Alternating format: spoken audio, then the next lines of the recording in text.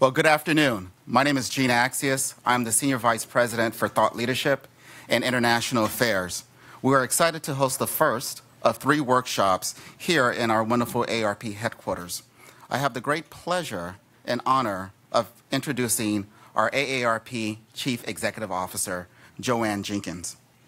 As CEO of AARP, Jo Ann leads the world's largest nonprofit, nonpartisan membership organization, harnessing the power and the passion of nearly 2,000 staff from across the country, 60,000 volunteers, and numerous strategic partners to serve ARP's 38 million members and their families. Since becoming a uh, CEO, Jo Ann has been on a mission to change the conversation in this country and around the world about what it means to actually grow older, to help people realize their real possibilities, and to find pragmatic and innovative solutions to the challenges people face every day. Her best selling book, Disrupt Aging A Bold New Path to Living Your Best Life at Every Age, has become a signature rallying cry for revolutionizing society's views on aging by driving a new social consciousness and sparking innovative solutions for all generations.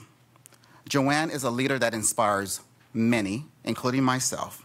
She is recognized as a fearless champion for innovation, a visionary and global thought leader, a catalyst for breakthrough results, and a driver of social change that will impact the way we all live and age. And more recently, she was named by Fortune magazine as one of the world's 50th, fifth, excuse me, as one of the world's 50 greatest leaders. I could go on. I could go on for hours listing all of her accomplishments and accolades, but I will not do that in the interest of time. But please join me in welcoming our AARP Chief Executive Officer and the co-chair of the International Oversight Board, Jo Ann Jenkins.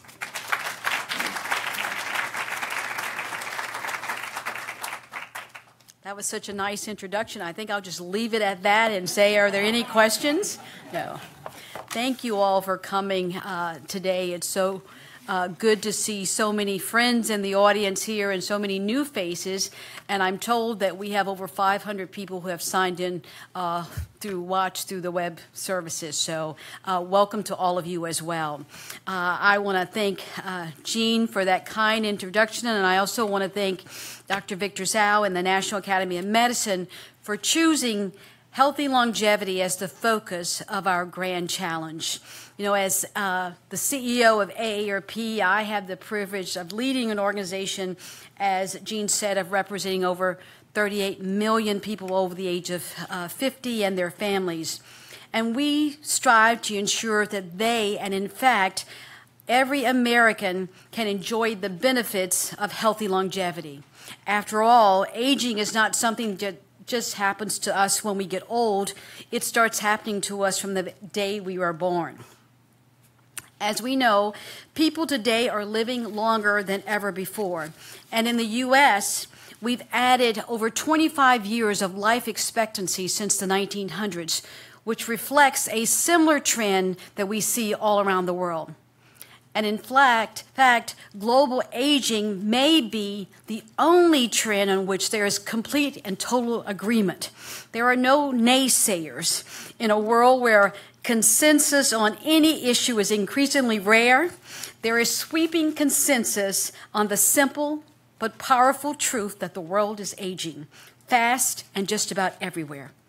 But whether those extra years will be good ones or whether societies and economies around the world will benefit as a result depends on the actions that we all together uh, will make in the future. AARP believes it's time for us to, to disrupt aging. We want to change the conversation in this country about what it means to grow older.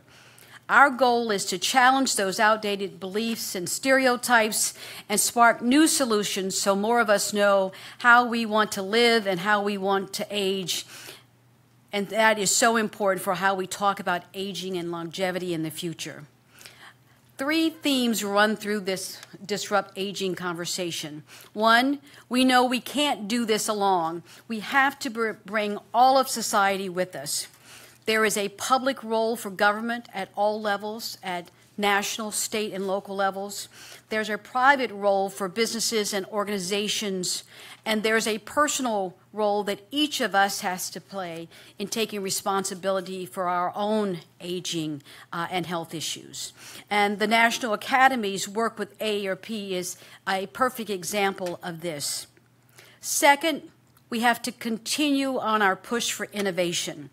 Innovation is key to both our individual successes as well as societal efforts to disrupt aging, not just in terms of the products and services, but also how we create and how we deliver our social structures and programs, not just here in the US, but indeed all around the world. And third, disrupt aging is not just about people over the age of 50. It affects people of all generations and people of all generations need to get involved to make this change happen, to make healthy longevity the norm, not the exception. So, as the, the co vice chair of the International Oversight Board for the Global Roadmap on Healthy Longevity, I want to challenge all of you, and especially the members of the Commission, with this challenge. I think all of us here recognize that research plays an important role in determining how we age by developing evidence based interventions that can make life changes better. So, the challenge I have for each of you is to use the information, the research, and the knowledge we all have about healthy longevity to create new products and services that enhance this healthy, healthy longevity. And I also want to challenge you to join me and my colleagues at AARP to be more disruptive, but in a kind way, and challenge the outdated stereotypes and attitudes and spark new solutions so more of us can choose how we want to live as we age. I want to again welcome all of you to AARP and thank you for bringing your expertise and your wisdom and your commitment to creating this global roadmap for healthy longevity. Thank you.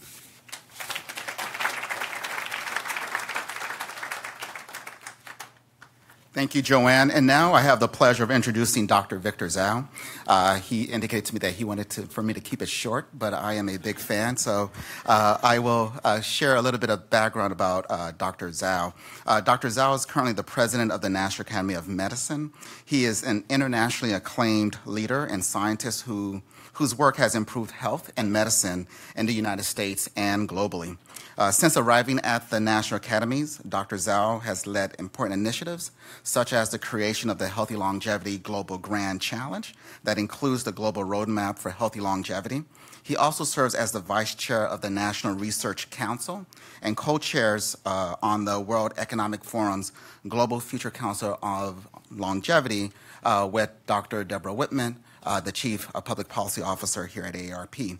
In addition to his numerous awards and accomplishments, uh, Victor has served as the Chancellor for Health Affairs and the President and CEO of Duke University Health System. Please welcome uh, National Academy of Medicine President and the Chair of the International, International Oversight Board for the Global Roadmap for Healthy Longevity, Dr. Victor Dzau. Thank you. Thank you, Jean, very much indeed. I want to begin by thanking Jo Ann Jenkins and really such generous host to provide us with the right environment, a beautiful facility, and of course, a great venue for interaction discussion as we think about where we want to go with health and longevity. So thank you very much indeed. Jo Ann, you're a leader in this whole field. We look to you for many guidance, and thank you for being a co-chair of the oversight board of this particular initiative. So I also, of course, want to thank ALP, Debra Whitman, whom I spent a few days with in Dubai together.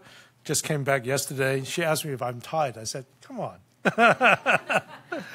of course, Jean Accius, Irwin Tang, and many others. And importantly, CC Shah and Ayana Ogawa and my staff for putting this together. So um, I want to first tell you who we are. Many of you do know, and why we're doing this. Uh, we're the National Academy of Medicine, which used to be known as Institute of Medicine. As you see some of the logos around, we found 50 years ago. Our parent organization is National Academy of Sciences, which was founded in 1863 by Abraham Lincoln, chartered by Congress for us to advise the government and, of course, advise the nation and more globally now. So we're not a part of a government organization. We are, in fact, an academy. But we've been very fortunate to look at our mission as being that of advising the nation with evidence base. Our vision statement is better health for all. And now that sums it up. So if you think about what we're talking about today, clearly all includes the whole entire life course, which we strongly believe in.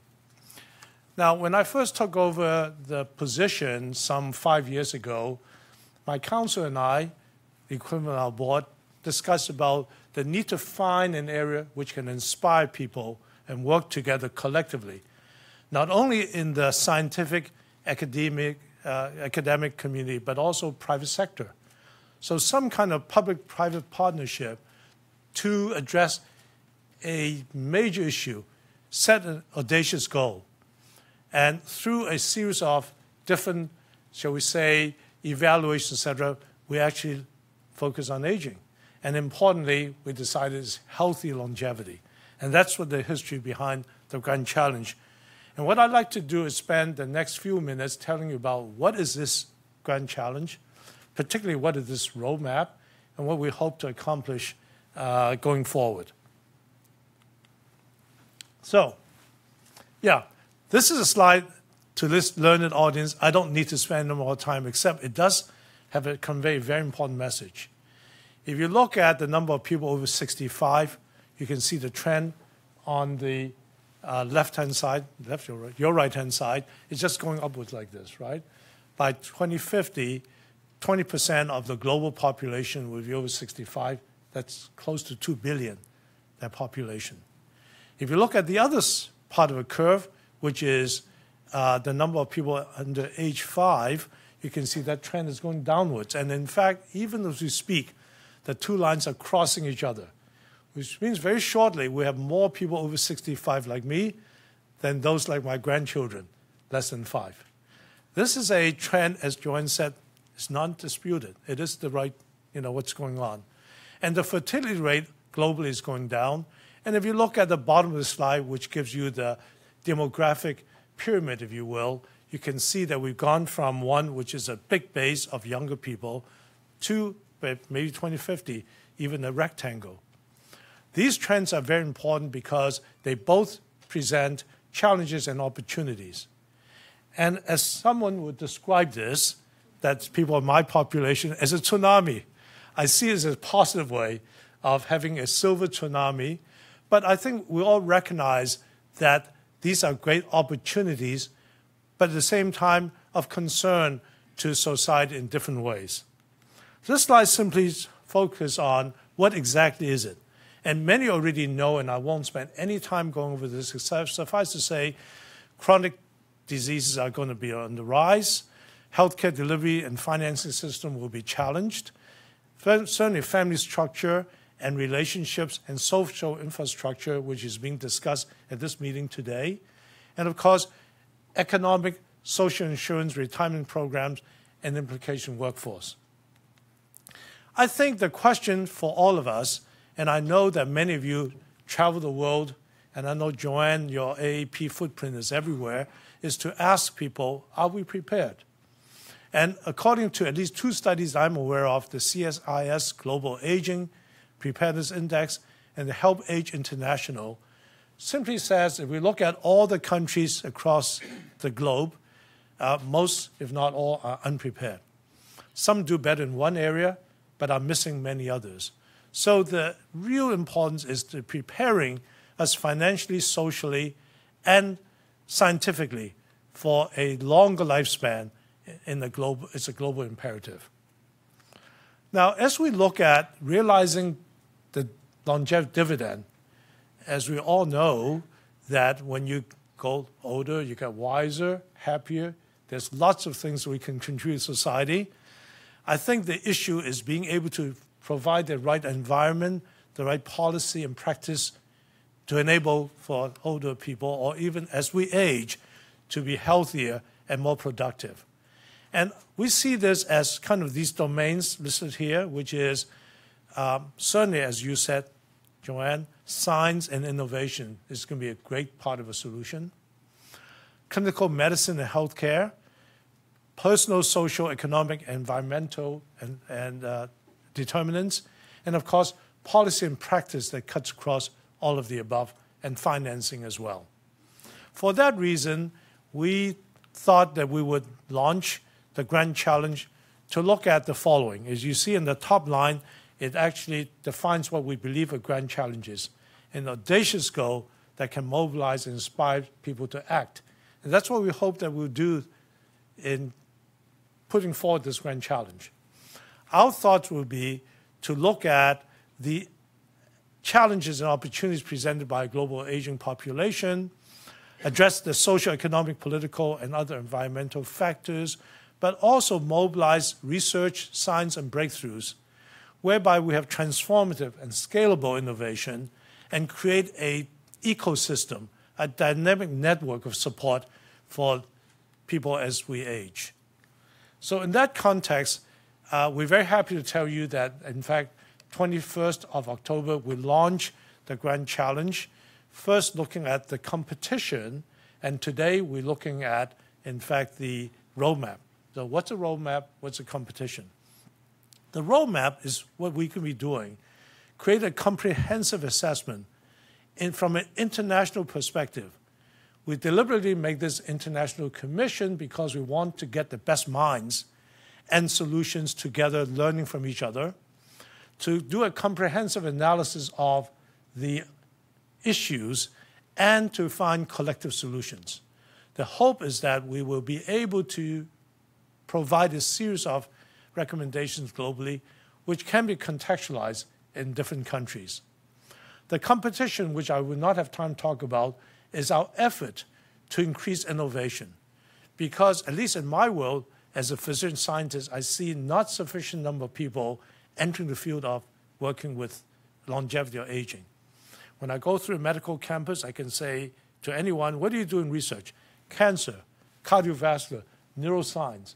I think it's time that we shine a light in this field.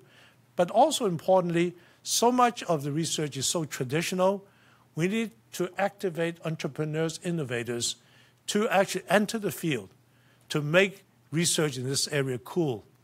And so consequently, we actually activated, as you know, a series of Catalyst Award funded by eight separate global agencies, including in UK, US, China, Taiwan, Singapore, Japan, and elsewhere, and covering 49 countries and territories, which we will begin by giving a series of $50,000 awards, 450 such awards, three years, and then what we like to do is to elevate it to the next level of support called Accelerator, which will provide several million dollars, particularly in trying to help commercialize, because I believe a silver economy is a good thing for all of us with good innovation, and then ultimately a grand prize.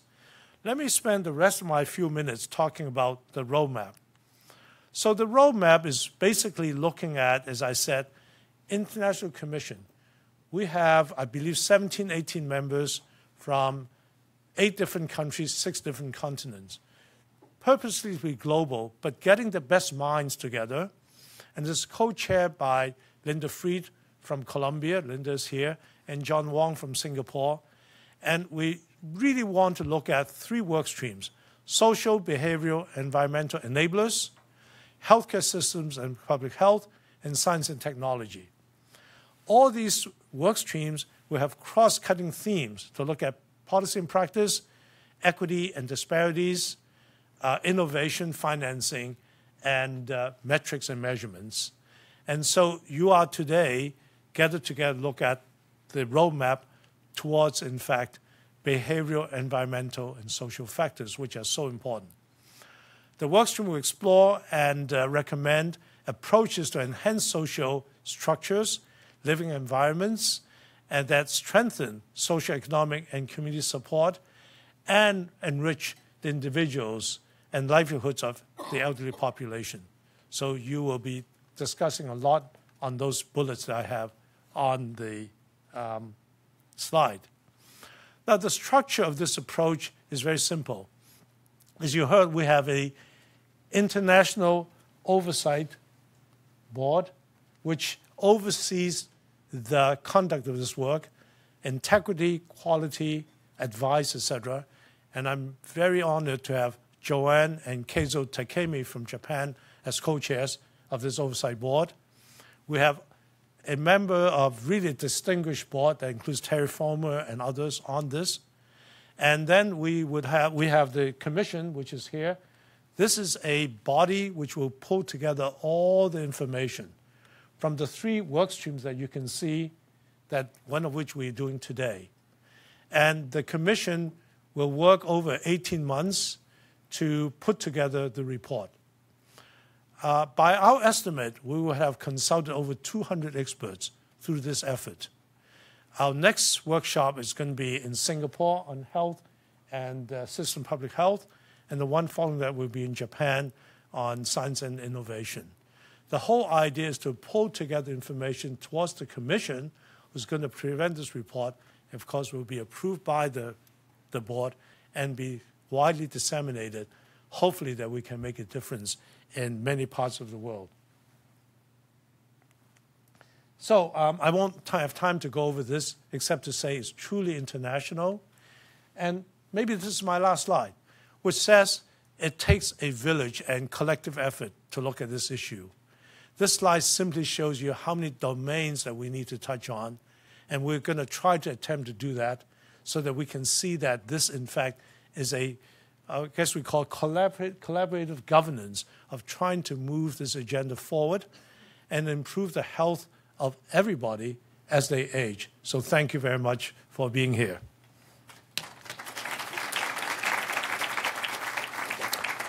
So uh, it's my great pleasure to introduce Jennie Popay, who's a commission member and also co-chair of the workshop. I should point out that the way that we structure these work streams is they formulated according to workshops, which allows people to come together for two to three days to really examine this issue in great detail. And importantly, a commission member will co-chair with an expert in one of the workshops so that there's in fact cohesion and reporting back. So it's my great pleasure to introduce her. She's Distinguished Professor of Sociology and Public Health in Division of Health Research uh, and Director of Center for Health Inequalities and co-director of the Liverpool Lancaster University Collaboration in Public Health Research, which is one of the eight uh, academic members of the NIHR School of Public Health uh, Consortium. She is also Director of Engagement and Public Health Lead for the NIHR Collaboration for Applied Research health research and care for the Northwest Coast, which is a collaboration with 36 partners, including universities, local authorities, and NHS organizations. So please help me welcome Jennie.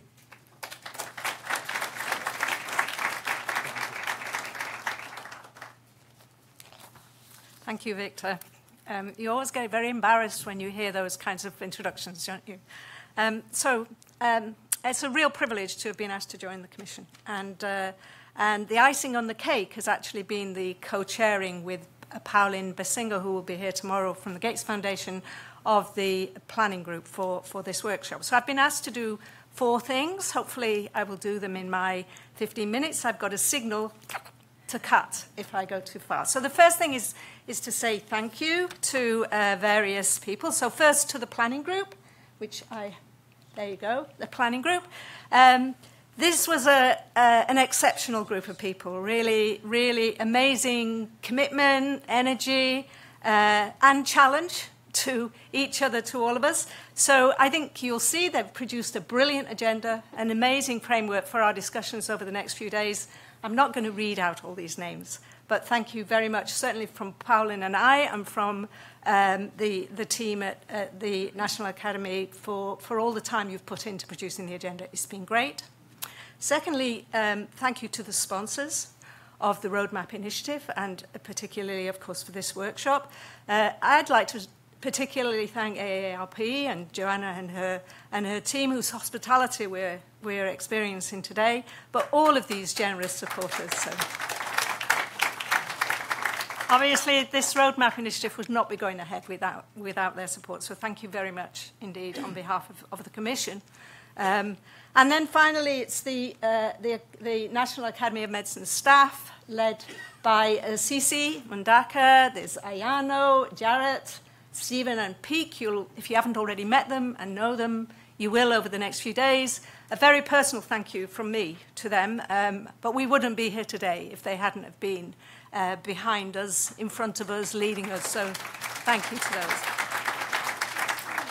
Say. So the, the second thing I wanted to do was just say a little about this workshop. Um, Victor's already kind of placed it within the context of the initiative as a whole. You have the program. I'm not going to go through the program in detail.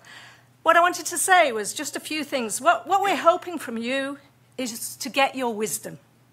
Uh, Aristotle called it practical wisdom. The wisdom that you have from if you do research, from your experience, from your day job, from your lives, really, about a number of things. The first thing is how best do we understand this notion of healthy longevity?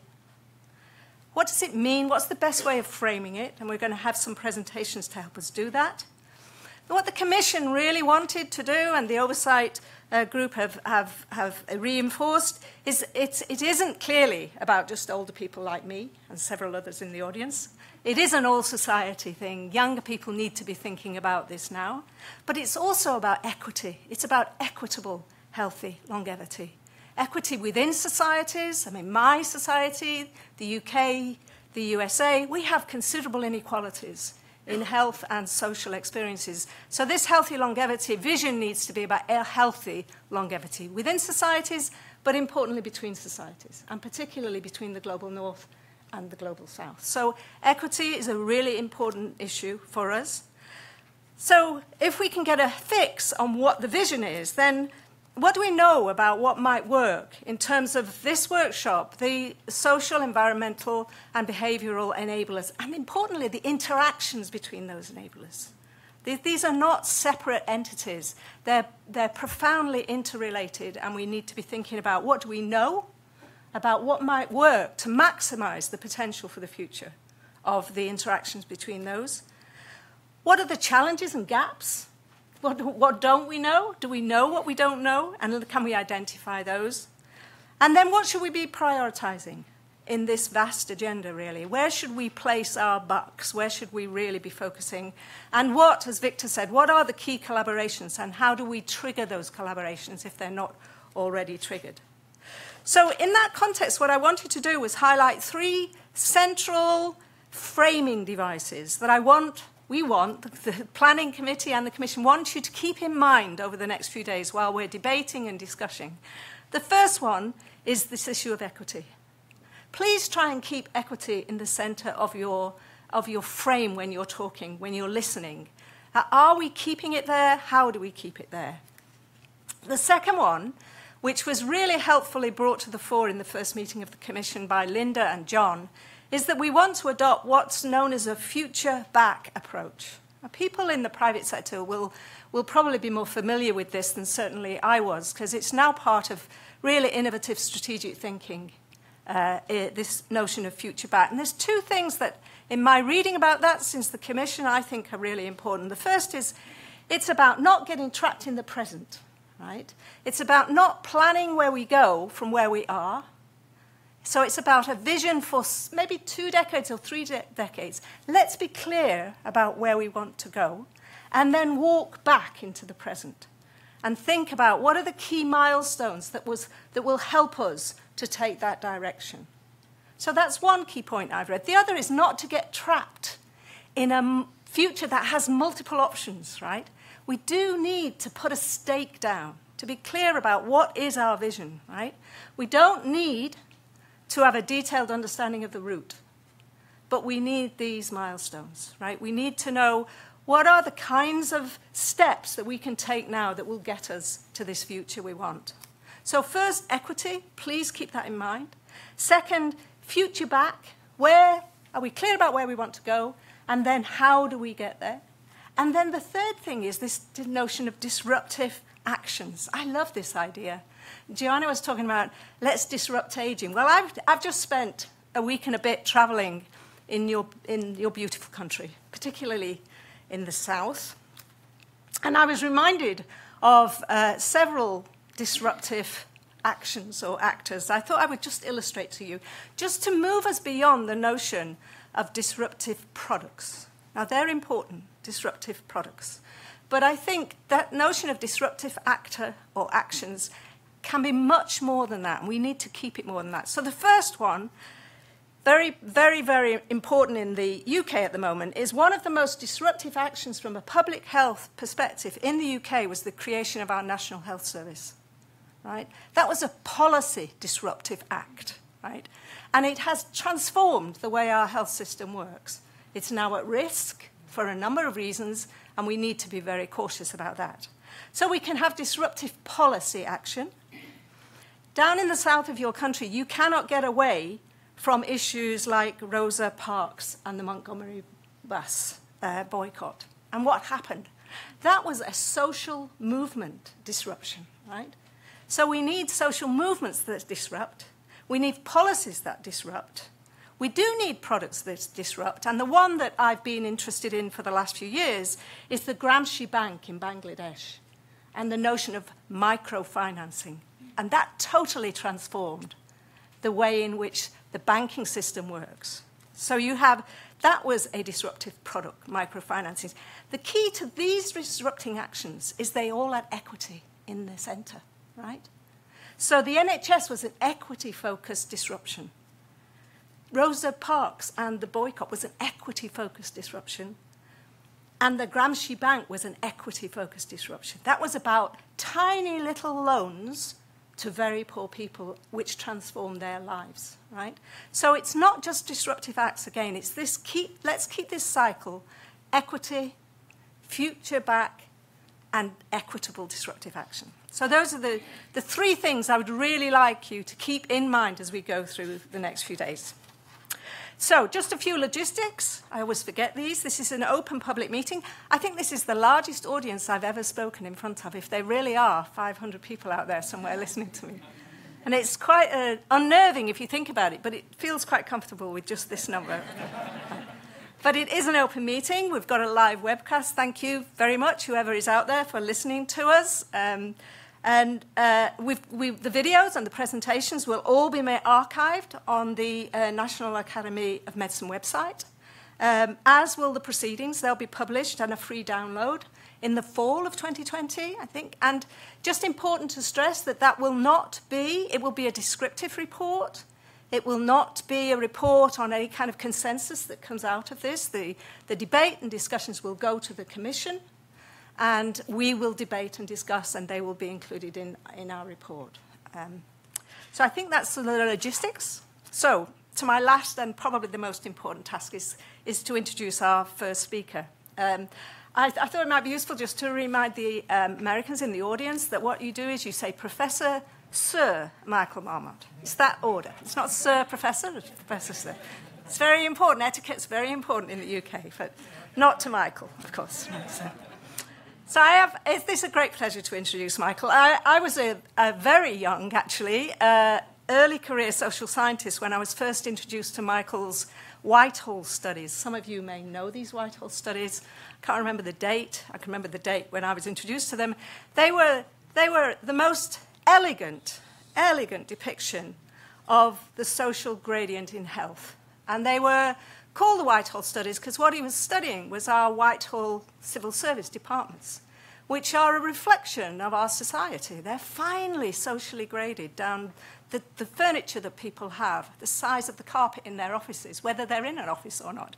So he, what he did was look at the health outcomes alongside this social gradient. So it's my introduction to health inequalities, as we refer to them in, in the UK, health inequities as they're referred to elsewhere. Uh, so Michael's been in my life, although he didn't know it for a long time, right? But I first worked with him when I was invited to um, coordinate a, a global knowledge network on social inclusion when Michael was leading the WHO-sponsored Commission on the Social Determinants of Health. That started in 2005, and the report uh, was 2008. Now, you've got his bio. I'm not going to read his bio. Partly it may even embarrass him, but, uh, but also it's the most extraordinary testament to a professional life that has provided extraordinary intellectual leadership, but also political leadership, advocacy, really. So I think we're going to hear now from a living example of a disruptive actor, right? Because what Michael's done since 2008 is shift the narrative about health. So you cannot go anywhere in the world now without hearing about the social determinants of health and the social determinants of health equity. So it's a really great privilege to introduce Michael, and he's going to introduce us to a framework for thinking about healthy longevity. Thank you very much, Michael.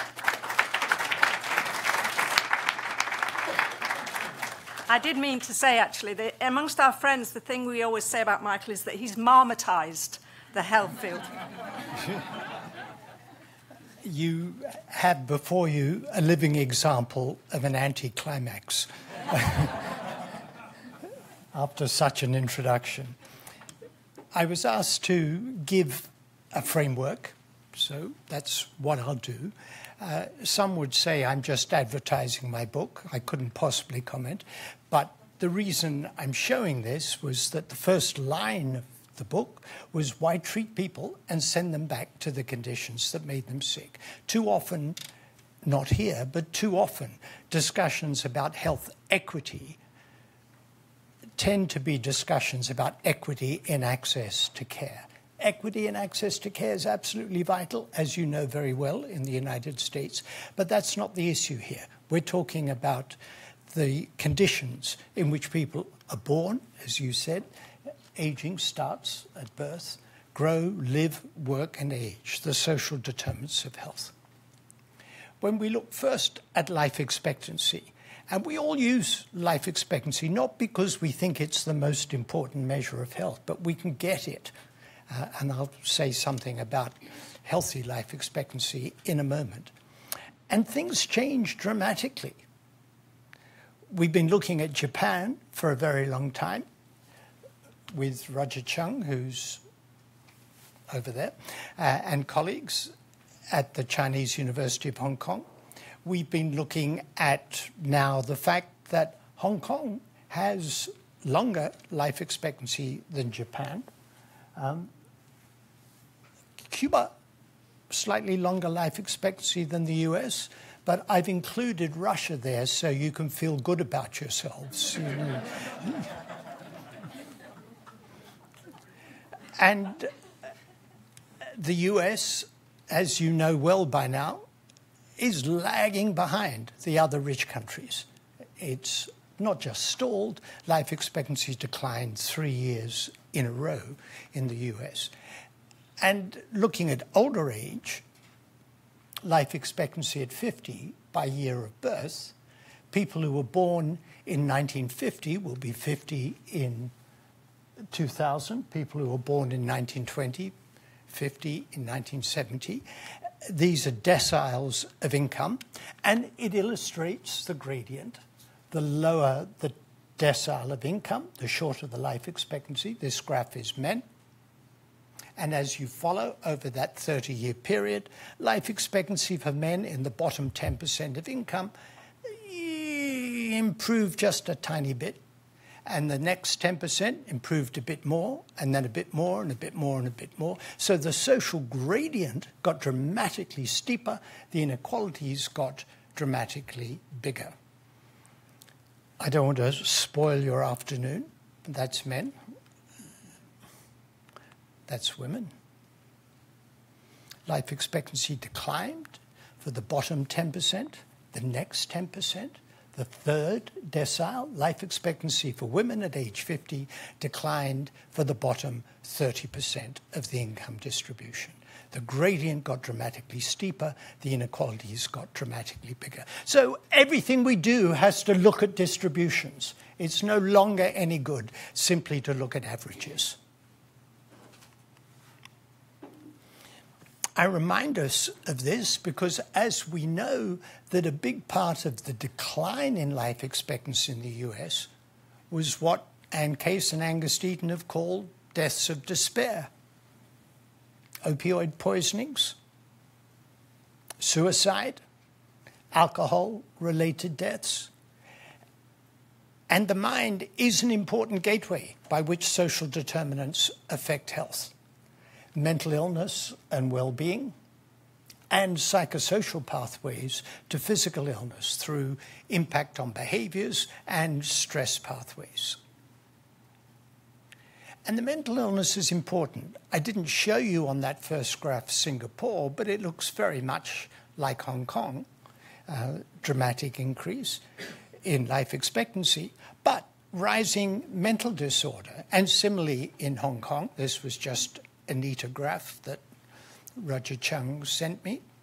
And you can see for each of these mental disorders between 2010 and 2016, they were increasing. And it's a similar picture in Hong Kong. We don't simply want to live longer, we want to have better qualities of life. And if mental illness is increasing, that means something's going wrong. So, why, while we're looking at the Asian tigers, these East Asian miracles of what they've done right in terms of longer life expectancy, we're also asking the question what about quality of life? And that's the healthy life expectancy part of this dimension. And to show you an example, these are data from England. Each dot represents a small area classified by the index of multiple deprivation. So to the right, as you look at it, we've got the most affluent areas. To the left, the most deprived. And the top graph is life expectancy. And what it shows is that people near the top, living in nearly the most affluent areas, have shorter life expectancy than those at the top. And it goes all the way from top to bottom. If we compare the fifth centile with the 95th centile, there's a seven year gap. There are much bigger differences for isolated areas, but on average, a seven year gap. But the drama is in the gradient. Now, the bottom graph is disability free life expectancy. That's not quite the same as healthy, but it's getting closer. The gradient's steeper. People at the top are living about 12 years of their lives with disability. People at the bottom, 20 years of their lives with disability. The gap between the 5th and the 95th centile is now not 7, but 17 years. So it's an even bigger challenge. And in the UK, we want to have retirement age to be at a later age, to go from 65 to 68. Looking at that graph, three quarters of the population do not have disability free life expectancy as long as 68. If we want people to work to 68, we've got to do something about the social gradient in disability. Otherwise, we'll simply shift people from pensions to disability benefits. And the immorality of poorer people working their whole lives and then never getting to enjoy a pension. And we see these gradients everywhere. In Porto Alegre, in, I can't say it, Rio Grande do Sul, in Brazil, um, classifying areas by degree of deprivation. The lower the socioeconomic level of the area, the higher the mortality from cardiovascular deaths. And the dark green represents the proportion of cardiovascular deaths attributable to having a socioeconomic level below the top. 45% of cardiovascular deaths can be attributed to living in areas having individual characteristics below the very top. Health inequalities, the social gradient in health, are fundamental to understanding health and disease. So, to get to the framework, on the 1st of October, we published the report of the Commission of the Pan American Health Organization on equity and health inequalities in the Americas. We called our report Just Societies Health Equity and Dignified Lives. The idea that if we could create the conditions for people to lead dignified lives, health would improve and health equity would be advanced. And I quoted from Nelson Mandela overcoming poverty is not a gesture of charity, it's an act of justice. It is the protection of fundamental human rights, the right to dignity and a decent life. And I think that has to underlie everything we do here. So, this is our conceptual framework. Don't panic. I will go through it in a bit more detail. But we've got three structural drivers macroeconomic drivers, number two, environment, including climate change and relationship to land, and number three, colonialism and structural racism. And then seven, conditions of daily life, early life and education, working life, older people, so going through the life course, and then income and social protection, violence, neighborhoods, housing, local environments, and health systems. And we are cognizant of, thank you, of intersectionality so we look not only at socioeconomic differences, but we look at gender, ethnicity. We've been com- particularly concerned with indigenous peoples in the Americas and people of African descent, uh, at sexual orientation, disability, migration, and health equity and dignified lives. Then we have two approaches to taking action good governance and respect for human rights. Just to give you the framework, I'm going to talk about macroeconomic issues. A modified Preston curve for the Americas with income per capita of the country, adjusting for purchasing power on the x axis and life expectancy on the y axis. And you can see at low levels of income a very clear relation with life expectancy. It's likely that if Haiti got richer, as rich as Bolivia, it would get better health. And if Bolivia got as rich as Brazil, its health would improve. For low income countries, one route to getting better health is to get richer. You can do things with money that you couldn't do if you're a poor country. But when you get up to the level of Costa Rica, Cuba, and Chile, at around $17,000 at purchasing power parity and go all the way out to the United States, there's simply no relation between national income and life expectancy.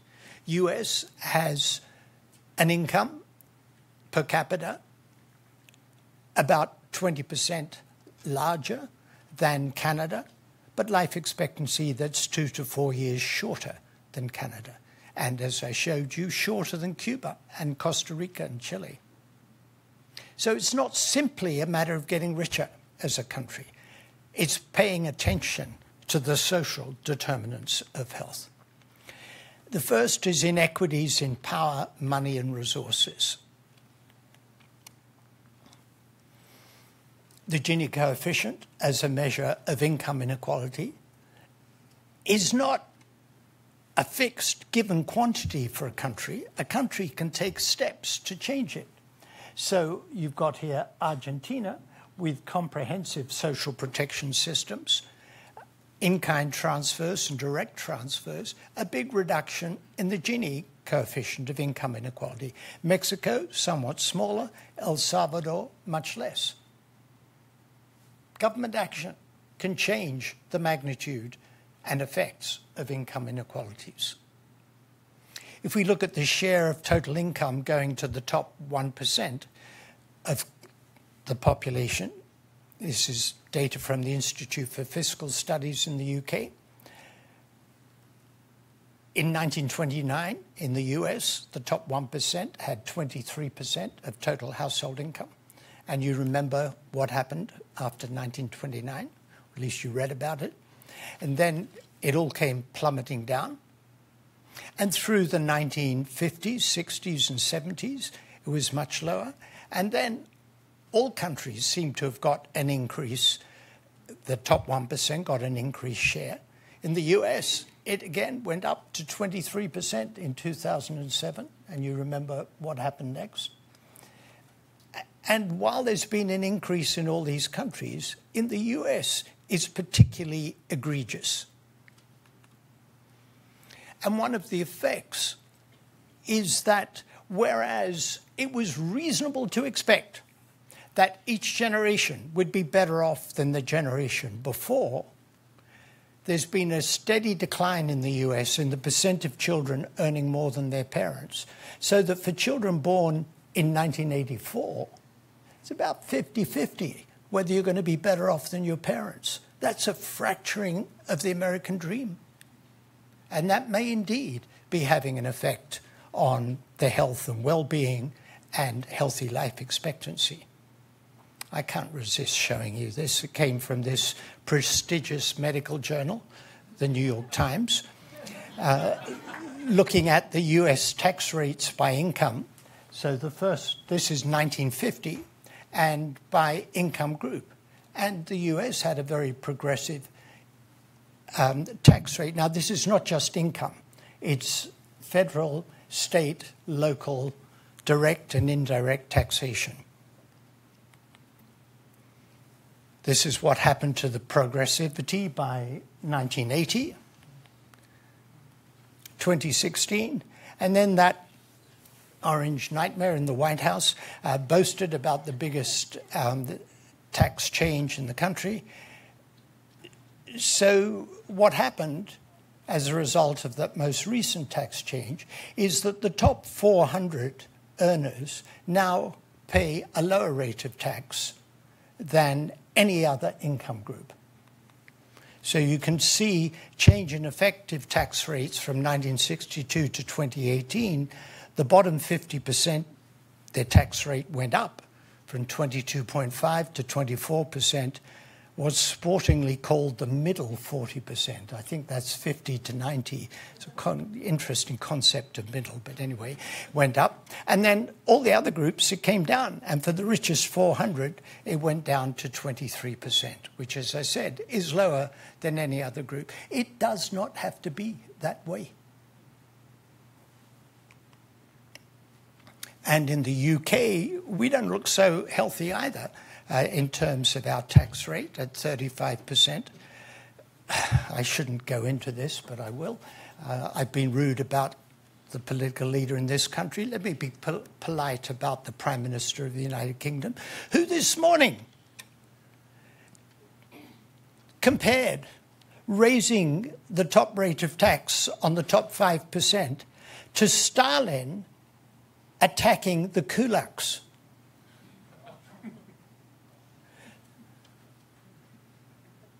It's disgusting.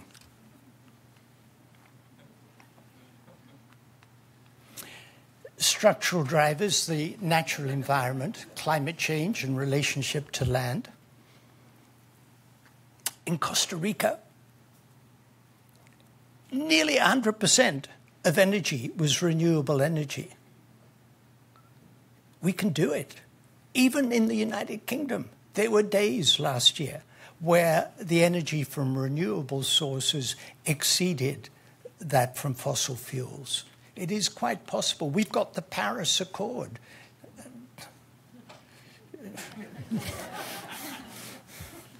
I'm trying to remain calm. Um, health equity impacts of ongoing colonialism and structural racism. Examples abound. Population 12 to 17 not attending secondary school by sex indigenous identity and place of residence. And for all of these countries, the indigenous population were less likely to be in second, less likely to be in secondary school than the non-indigenous population. It's pretty simple, isn't it? Secondary school benefits everybody. We know how to do that. Why should indigenous peoples not have the same access to secondary school? Conditions of daily life, equity from the start. We know that attendance at pre primary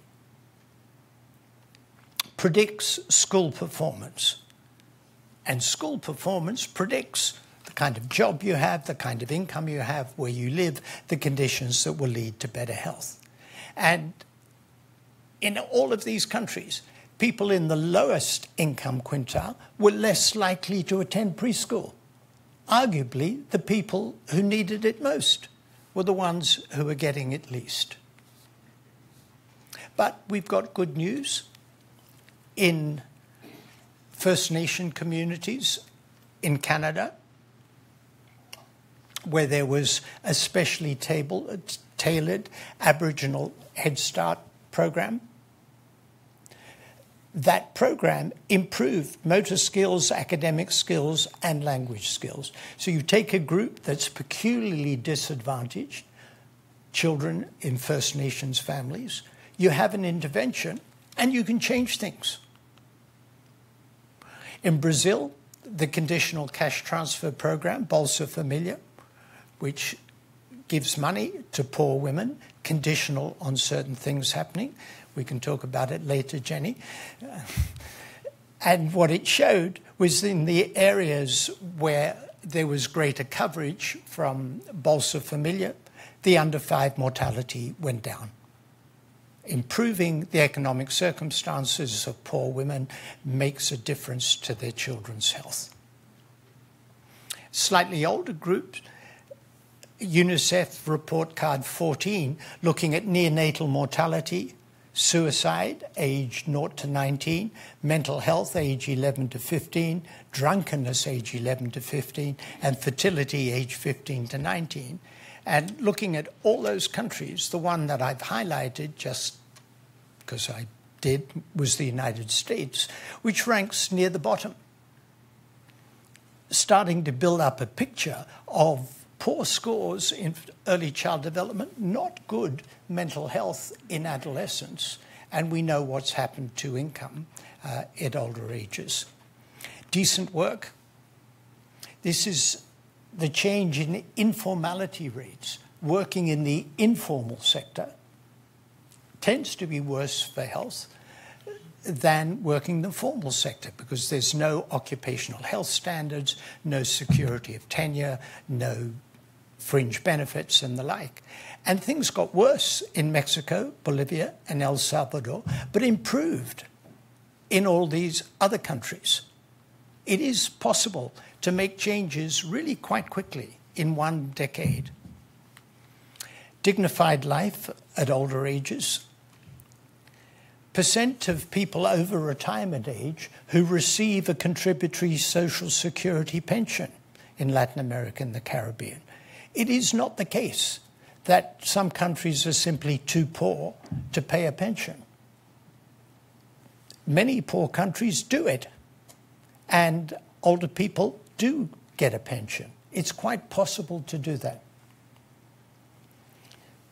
Income and social protection. I've already shown you what's happened to tax rates in the US. This is the United Kingdom. Public spending percent change from 2010. We had this fetish in the UK. It was called austerity. Somehow that was going to improve everything. It didn't work. Look at the one at the bottom welfare for families. The spending on welfare for families declined by more than 40%. Social protection declined by more than 20%.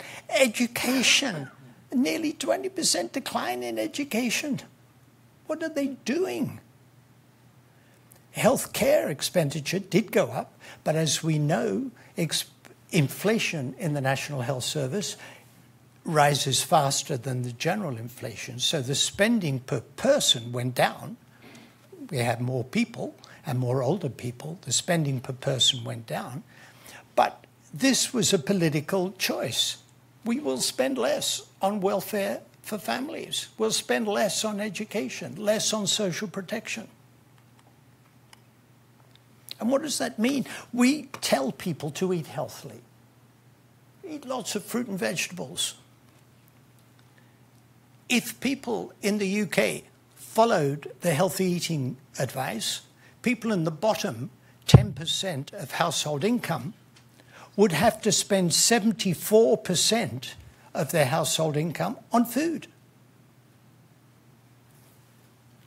They're not failing to eat healthily because of ignorance, because of willfulness, because they're addicted to fast food. They're failing to eat healthily because they can't afford it. If they spent money on food, who's going to pay the rent? And if they spend money on rent, who's going to heat the apartment? Food is a housing issue. Housing is a poverty issue. Poverty is a food issue. Reducing violence. You're rightly concerned about homicide rates in the United States. The US looks like a haven of peace and tranquility compared with many of the countries in Latin America and the Caribbean, with these very high homicide rates. But they can change. In Colombia, the homicide rates, always higher in men than women, came down dramatically. That may well have been related to attacking and smashing the cartels. That means we can't deal with something like homicide just by individual education or approaches. We've got to deal with the structural drivers. Another marker of violence is intimate partner violence against women across the lifetime. And we see these dramatic differences between countries. The evidence is something like a third of women worldwide have been subject to violence against women. Environment and housing conditions. You've been reading over the last week about what's happened in Delhi. In Delhi, the air pollution is so bad, so bad in Delhi, that they cancelled a cricket match. Oh, and people can't breathe. Um, it, it's many times higher than the safe limits. Well, throughout the Americas, we're concerned about air pollution. Health systems are important, good governance, and human rights is fundamental. Let me finish with this. Where might this phrase have come from? A well being approach can be described as enabling people to have the capabilities they need to live lives of purpose, balance, and meaning for them. Amartya Sen? Yeah, could be. Sounds like it. But in fact, where I got this quote from was the New Zealand Ministry of Finance. This is the credo of the New Zealand government, of the Ministry of Finance.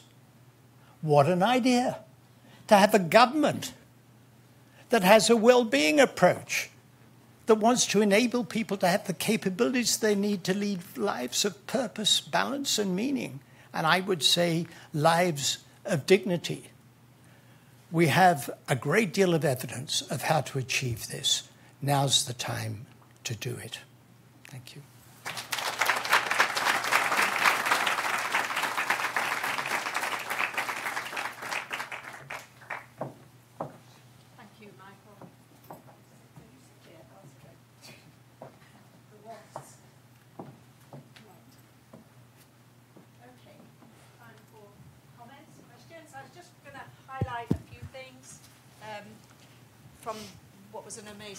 presentation for us. Thank you very much. Painted a, a really in-depth picture of the... Do you need that? Oh, right.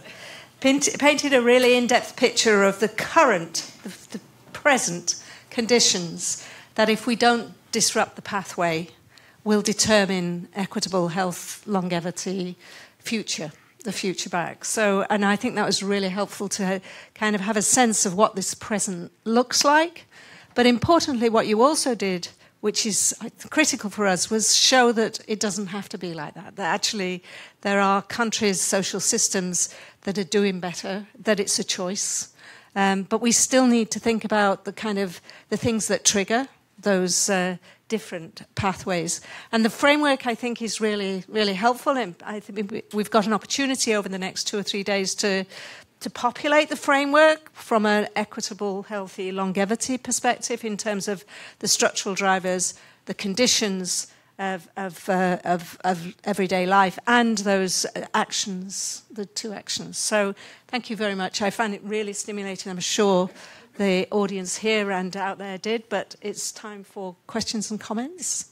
So please say who you who you are. And, um, yes, so you need to go up to the mics on the side if you wouldn't mind. Thank you.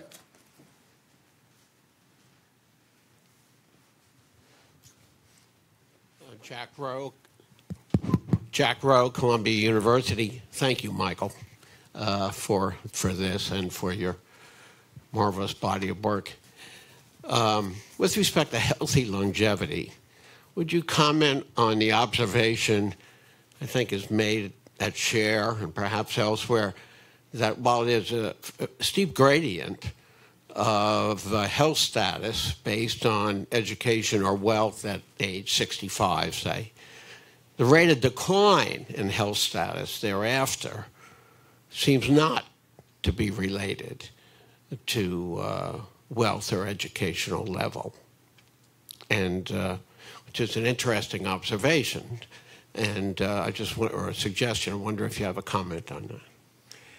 Well, the rate of decline. Um, I've looked at particularly for cognitive function and physical function. The rate of decline is rather similar, but because the starting level is so different, that in the English longitudinal study of aging, for example, and the Whitehall 2 study, people of lower status reach the same low level of function about 12 to 15 years earlier than people of higher status. So they're declining at similar rates, but they start from such different points that, and the decline starts later in people of higher status, that functionally at any given older age, you see this huge social gradient.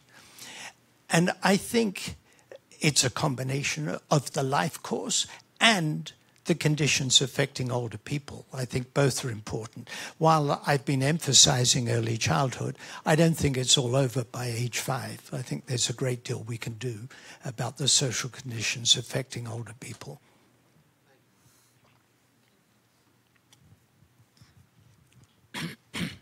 My name is uh, uh, George Vradenburg, uh, Us Against Alzheimer's. Uh, and I'm, I'm going to come back to the question about roadmap uh, and vision and goals in a moment.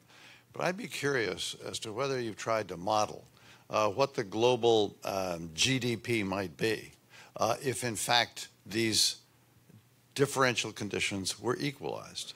That is, would the global growth double in rate if you equalize these conditions and then examine how much it would cost to get there, because painting out this picture says, okay, we got an enormous justice uh, and economic problem. But how much would it cost to uh, correct it, and how much increase in global economic well being might exist if we did correct it? So that you say to the world's governments, we could have average GDP per capita double if we were to correct these conditions, and it would cost us 25% of that growth in order to achieve it. So I'm trying to lay out an economic model that says it is of worth to the globe uh, to actually solve these problems. Yeah, I, it's a very interesting question. I can't answer it from a global perspective. Uh, how to get Ethiopia growing at the same rate as Sweden. I, I can't answer that from an economic perspective. Sure, but within countries, I mean, firstly, nobody, certainly not me, thinks that the best organization is to every, everybody to have the same income and wealth. I don't think anybody thinks that's a good model, and certainly we don't have any precedent that such a model would work. So we recognize that there are always going to be important economic inequalities. And that's the way all our systems work. The question is what the magnitude is. And I don't think many economists are now in much doubt that, for example, the level of inequality in the, in the US uh, is dysfunctional. It's not good for economic growth. There's quite a good body of evidence now to say that the argument about incentives is wrong, is completely wrong. It's factually incorrect. Letting rich have even more so they'll be incentivized to create is just completely wrong. Uh, it doesn't work. It's wrong. And that having a more progressive tax system and trying to deal with the pre tax inequalities is of vital importance. Would it not cost money? It would actually save money, it would generate income and wealth by dealing with it. How one then translates that to a global perspective is much more difficult because conditions are so difficult.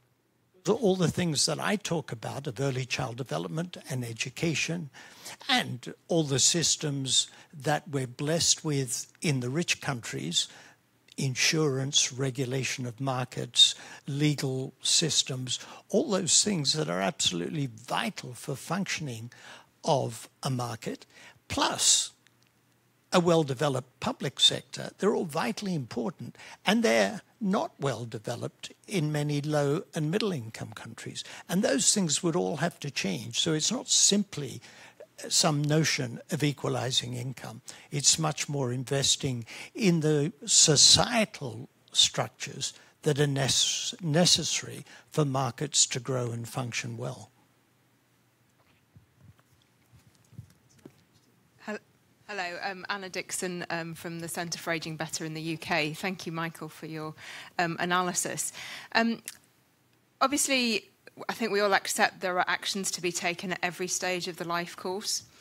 Um, there's been suggestions by um, Andrew Scott and others that with a 100 year life, we need to sort of stop just thinking about the sort of early years and education, this idea of working life and then um, sort of old age and retirement, and particularly um, as you yourself uh, was alluding to, the sort of uh, ability to work longer is very different uh, in terms of the inequalities. Um, and so some of the actions that perhaps in a sort of richer population uh, in your 60s that'll make a difference of how healthy you are at 80 in poorer communities, those are interventions that we need to be thinking about when people are like 40. So I was wondering, sort of, how, what actions you thought we should be taking at those sort of later stages of working life, as you called it, um, that are really going to make the biggest difference, not to longevity, but to the healthy years, the healthy longevity. Uh, in in my own mind, there's uh, these are important research questions of how much intervening in those middle years will lead to healthier older age, as distinct from or in addition to the interventions at older ages.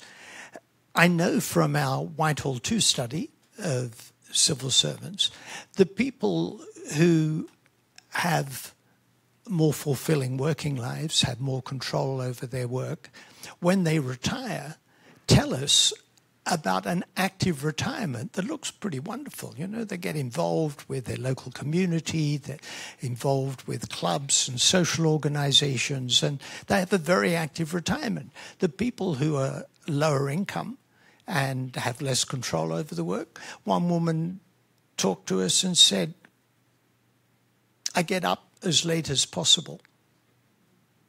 I think I've had my last holiday. And socially isolated, nothing to do, very little money, not the skills and social networking, etc. So, in other words, what happens in working life may have an impact on things like atherosclerosis and the build-up of chronic disease, but it might also have a big effect on the circumstances that will affect you in later life. Having said to Jack that I don't think it's all over by five, and it's not all over by 65. What happens in older life is important. But I'm sure that it's much better to start earlier in life, and having a fulfilling life at working ages is going to be a good predictor of what happens at older ages.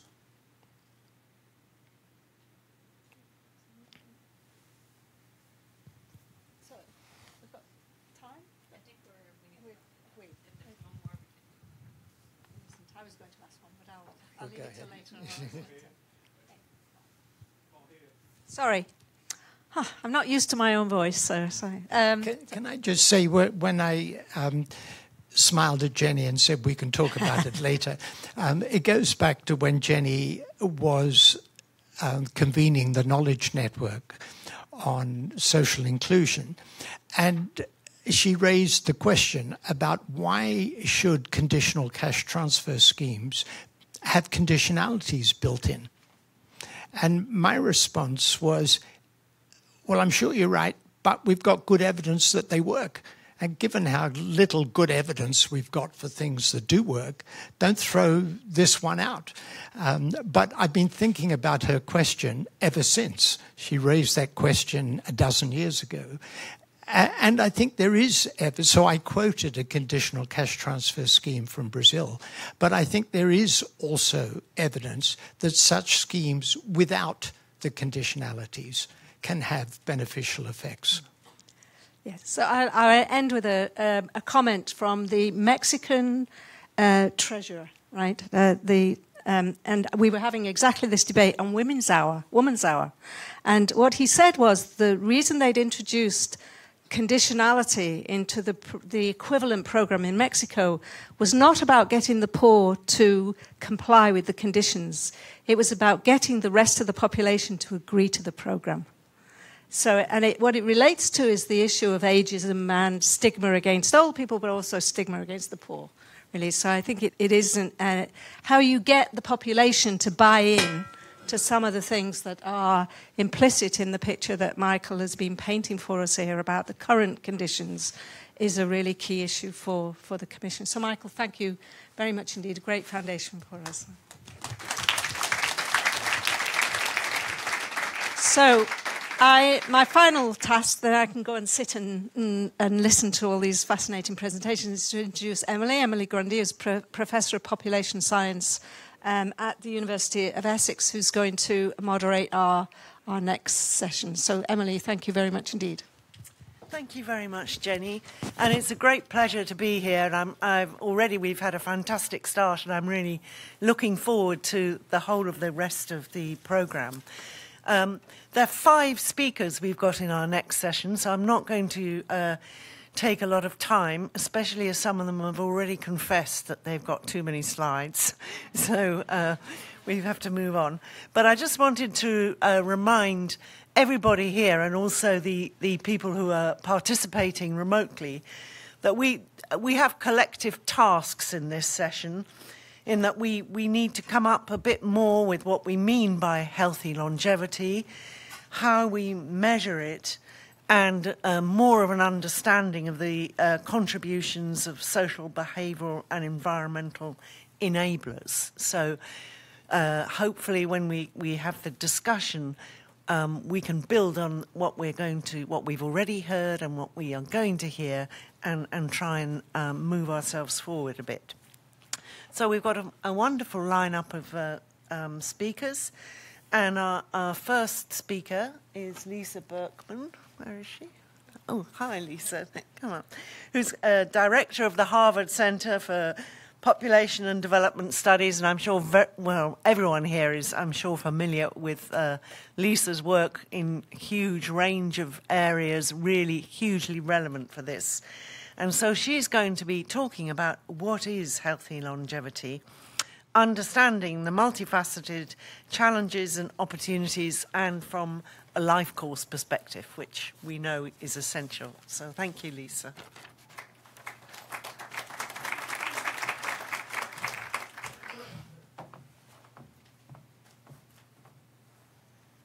Well, thanks, Emily, and it's a pleasure to be here. Um, participating in this agenda has been really, truly exciting. Um, I am one of the people who has too many slides, in part not quite understanding the length um, constraints that we had. So I'm going to go through some of them um, quickly. And in fact, Victor Dzau uh, presented some of the early ones. So my goals today are for you to understand a little bit more about what healthy um, life expectancy is and what aging societies mean to understanding healthy life expectancy, and then to talk a little bit about what are some of the social determinants of health, mostly in midlife, that can affect um, aging and healthy life expectancy as we go forward, and finally, what are some of the policy solutions and ways that we might go forward. So I wanted to show this slide. Um, let me see if I can get it to move um, here, which is very similar to what, um, it's not moving. I think if somebody back there can just push, uh, oh, it is moving. There it goes. Whoops maybe we'll skip through these. these are these are moving slides of, of the demographic change that you see, and it illustrates very clearly the kind of movement that we have from a pyramid to what is really a column in terms of aging. And it's for several countries. What I wanted to point out, particularly because this agenda is a global one, is that by the time we look at 2040 um, and we look at the ratio of older people and younger people, not only do we have this lack of a pyramid, but if you look at the darker colors and the lighter colors, the darker colors are the developed countries of the world. The lighter colors are developing, emerging countries. So by and large, the future of the country, of the universe and the globe, and in fact, our world as we know it is going to sit in developing countries and emerging countries today. Um, developing countries are going to play a very small part, and even though that's a complete pyramid, you see the very large contribution that other countries are going to play. So it becomes central in all our thinking to have this kind of image embedded. Um, the other one that Victor showed is just the proportion of um, people under five to people over 65. And again, you see this crossing um, just about now. And I want everybody to note that all the people under five um, have been born already when we think about, and 65 year olds have been born. Um, by the time we look at 2050. So, if we look at everybody over 65 in 2050, they were about born in 1985. So, if we're thinking about early childhood um, experiences, I agree with Michael, very, very important. But in large part, the show's over um, for those people. They're already, you know, 15, 18, 20. So, we had better have a better solution if we're thinking about what to do by 2030, 2040, 2050 and I'll skip over these fertility um, slides. And I want to show here that the speed at which countries achieve population aging varies enormously. So some countries have had a long time to think about this. France has had a really long time. Sweden has had a long time. The UK has had a long time. These are the Asian tiger countries Korea, China, Thailand, Brazil. They have had a really short time to come to grips with what this situation looks like. So when we think about aging societies, we have to understand that the pace at which societies age has a lot to do with their ability to respond in any way effectively. So when you think about retirement, pension systems, redoing working age, a lot of this has to do with the speed at which we age. So, what is healthy life expectancy? This commission has talked a lot about this. Um, it certainly is mortality, but mortality plus morbidity plus what else? I think it's in the eye of the beholder. We haven't um, come to any real consensus, I don't think, about this. But I wanted to show you one about mortality because one of the things um, often we talk about with life expectancy is whether we're talking about healthy life expectancy or health span or lifespan. So these are life table deaths by age and year, and the darker they are, the more they are different cohorts of people. And you can see what's happened is that life um, mortality rates have improved and improved for people in their 70, 75, 80, 85, 90. By the time you get to 100, we've not budged very much. So there are going to be more 100 year old people. We all know that that's true. But increasing lifespan, the idea that we go much beyond 100, is something that hasn't happened very much.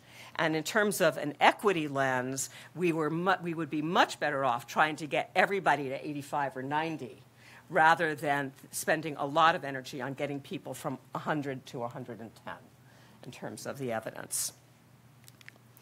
Wanted to show two, two variables related to what we might think about as healthy life expectancy in terms of blood pressure and cholesterol. Disability is surely the other one. But I want to show this one because it brings up the issue of how much we want to count um, medicine as truly improving the situation. So here, um, what we have is measured um, high blood pressure, for instance, um, on the top here um, and medication and measured high blood pressure. So if we look at measured high blood pressure, which is the dark black line, and cholesterol, you see that there have been improvements over time. These things have dropped. In large part, oh, in large part, they've dropped um, because people are on antihypertensive and cholesterol lowering drugs. So, in a sense, that works. But if you look at actually the amount of hypertension or cholesterol, high cholesterol there is in the population that's not medicated, that's due to that. It hasn't changed at all. So we're making it go down because of medication, but we're not actually preventatively lowering blood pressure or cholesterol. So I think there's a big debate about how much we want to depend on these things. So now I'm going to move into the social determinants of health. And really, I want to build on this idea that exposure, exposures in early and midlife will really determine patterns of healthy life expectancy and healthy aging. And there's a lot to be said about early childhood, but actually, I think there's a lot to be said about midlife. Um, these are the numbers for the United States. As I think everybody has now shown, we're at the bottom for just life expectancy. This is it for women. And if you look at um, overall, the race and ethnicity adjusted life expectancy by income, these are data from Raj Chetty, you see that overall, these are for men and women, that um, there's a steep gradient, and the gender difference actually gets smaller as income gets higher. But there's a gradient all the way along in terms of life expectancy. And as others have suggested, inequalities are widening over time. There's been almost stagnation at the bottom and improvement at the top. These are data um, from Gary Burtless and uh, folks at Brookings who did um, estimates for Social Security and what you can see is that these are looking at two cohorts, cohorts of people. On the top are people in blue, dark blue, who were born in 1940, and people on the light blue, who were born in 1920. And over time, there have been enormous improvements of people in the top decile um, for education, and this is income distribution, so 8.7 years difference in the two cohorts, um, looking at life expectancy at age 50 for men and 1.7 for women. However, if I want you to hold on to that 1.7, if you look at what it is for women, it's completely no improvement in life expectancy for not only the bottom decile, but I think it, quite congruent with Michael's data, also the second decile and the third decile. And it takes fully 40% of women at the bottom to get to the same improvement that men had during this same period. So steep gradients, but quite gender related. And while all countries have inequality, some countries have greater inequality than others. Um, this is the difference in the United States, which is the first country and the highest bar. And you'll also notice that for um, the best off, um, high, highly educated people, we still have the highest mortality rates. So we aren't lowest even among the best of us. And while some countries like France still have inequalities, their difference is 252 deaths, whereas ours is 686. Huge differences in the range of inequalities. So I want to talk about another variable, um, social integration um, which goes as far back as Durkheim to think about what's important about social integration and isolation and exclusion is that it relates to two things attachment and regulation. And here's early data from Alameda County showing the relationship between social integration and all cause mortality, with people in the green bar having the most isolated experiences, um, really at great increased risk. And this is net of socioeconomic conditions. Um, this has been um, replicated in France and now in hundreds and hundreds of countries with the same kind of um, findings and across many causes of diseases, which makes one think about whether there are shared pathways, and it makes the issues of what are the biological pathways that push on so many diseases really important for us to be exploring.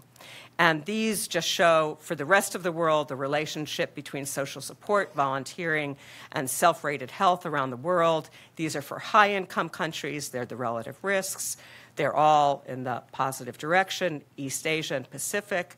So countries like Japan, China, Cambodia, Malaysia, Thailand, um, South Asia and Oceania, and sub Saharan Africa. So virtually around the world, we see the effects of social isolation. And importantly, social isolation and social integration predict the preservation of memory and many cognitive skills. So these are data from the Health and Retirement um, Study, which show longitudinal relationships between social integration and cognitive performance. So, what are the policies that might promote in midlife? Um, working longer, and I call this the longish arm of uh, early and midlife experiences because there's a great article on the long arm of early childhood, and uh, I would just say this is longish. Um, so things like family leave, sickness absence, schedule control, um, the earned income tax credit, unemployment, um, training, attention a lot at the lower and middle wage earners, and what are the long run benefits, and how often these kinds of policies are never evaluated in cost benefit um, equations. So, I want to show you one slide related to cognition and time away from work in adult life. Um, and this shows that there are we're, they're looking at five areas of reasons why people take time away unemployment, sickness, um, home, being a homemaker for a while, training, and maternity. And you'll notice in the red bar that training and maternity actually lead to positive um, cognitive performance, whereas the other ones lead to decrements in performance. And each of these models increasingly controls for more socioeconomic conditions. So by the time you get to the end, you see that the risks for unemployment, sickness, and just staying out of the labor force are above one, whereas taking time off for training and maternity leave are protective. And to talk about the social protection policies, for a little bit more. Um, many of you may have to stand up in the back of the room to see where the United States sits here. Um, but in fact, the United States, of course, is at the very bottom of any kind of social protection for um, family leave, whereas other countries have many. Um, many sources of support for this. And in an article that we did on the effects of maternity leave that we did from SHARE I will just go through these really quickly, where we looked at paid family leave. What is the effect of living in a country with paid family leave on your depression when you're out of the workforce at 65? So 30 years later, what is the effect of living in a country with paid family leave? And these policy data come from OECD. And basically, what we show is that there's a 16% difference in depression scores between living in a low or a high maternity leave country with respect to paid leave. So, something about leave in midlife has an enduring impact on depression at later life. And this isn't your own leave, whether you took it or not, it's a policy. So it's exogenous to you. So depression in old age is linked to maternity leave policies during the critical period of the birth of a first child. And now I want to go in a little bit more detail, and I'm about one minute out, of structural racism, just to show the other effect of things that happen to people who are adults. Um, there are a lot of examples we could take, but we'll take incarceration. So this is data on mass incarceration um, and widening inequality in the United States. These are a whole lot of countries, and their incarceration rates, they're mostly flat little things on the bottom. And if you'll look at this one, that's the United States. Complete outlier in terms of incarceration. If we thought incarceration influenced both family stability, ability to be in the workforce, and to have a health outcome, we might do well to think about the rates of incarceration that we have. And it means that between, if you look at a cohort of men born in 1945, um, and their um, experience of imprisonment, it was about you know less than 10%, very different for blacks and whites. But if you look at the cohort between that was born in 1965, you can see that the incarceration rates have gone up enormously, especially for high school dropouts. So if we want to think about something that ruins somebody's career and family life and maybe health for their entire life in midlife, we would do well to think about incarceration. And these are just the statistics showing what the effects are on spillovers to people who are family members and to other um, neighbors and that sort of thing. So, overall, in terms of a possibility for thinking about a solution, I want to say there are many, many solutions. Obviously, changing policy is another one. But one approach that has been talked about for environmental um, impacts and climate change is to think about the environment, environmental impact assessment model and how this could be done to think about the effect to which it extends healthy life expectancy um, and aging population productivity. And just to end, I want to say that demography is a powerful experience, but it really is not destiny. It's completely our response to it that will determine our societal resilience. Thank you. Sit now? Is that, or go back? That's great. Thank you very much, Lisa. And we're going to have uh, the questions for these first three sessions all in a group at the end, so we'll we'll have a chance to respond to some of those really interesting things that Lisa's told us about. So our, our next speaker is uh, Ali Mokdad, who's a professor of health metrics, which is clearly very relevant for this uh, d- discussion we should be focusing on and the Chief Strategy Officer for Population Health and Director of the uh, Middle Eastern Initiative at the University of Washington. Thank you. Thank you. It's a pleasure to be here and an honor to be here. Uh, let me tell you a little bit about the, a lot of slides and why. So let me read you to you what they asked me to do. And uh, I know something about numbers and metrics, so there are eight questions. Uh, what are the drivers and best predictor of uh, longer uh, health span in aging population?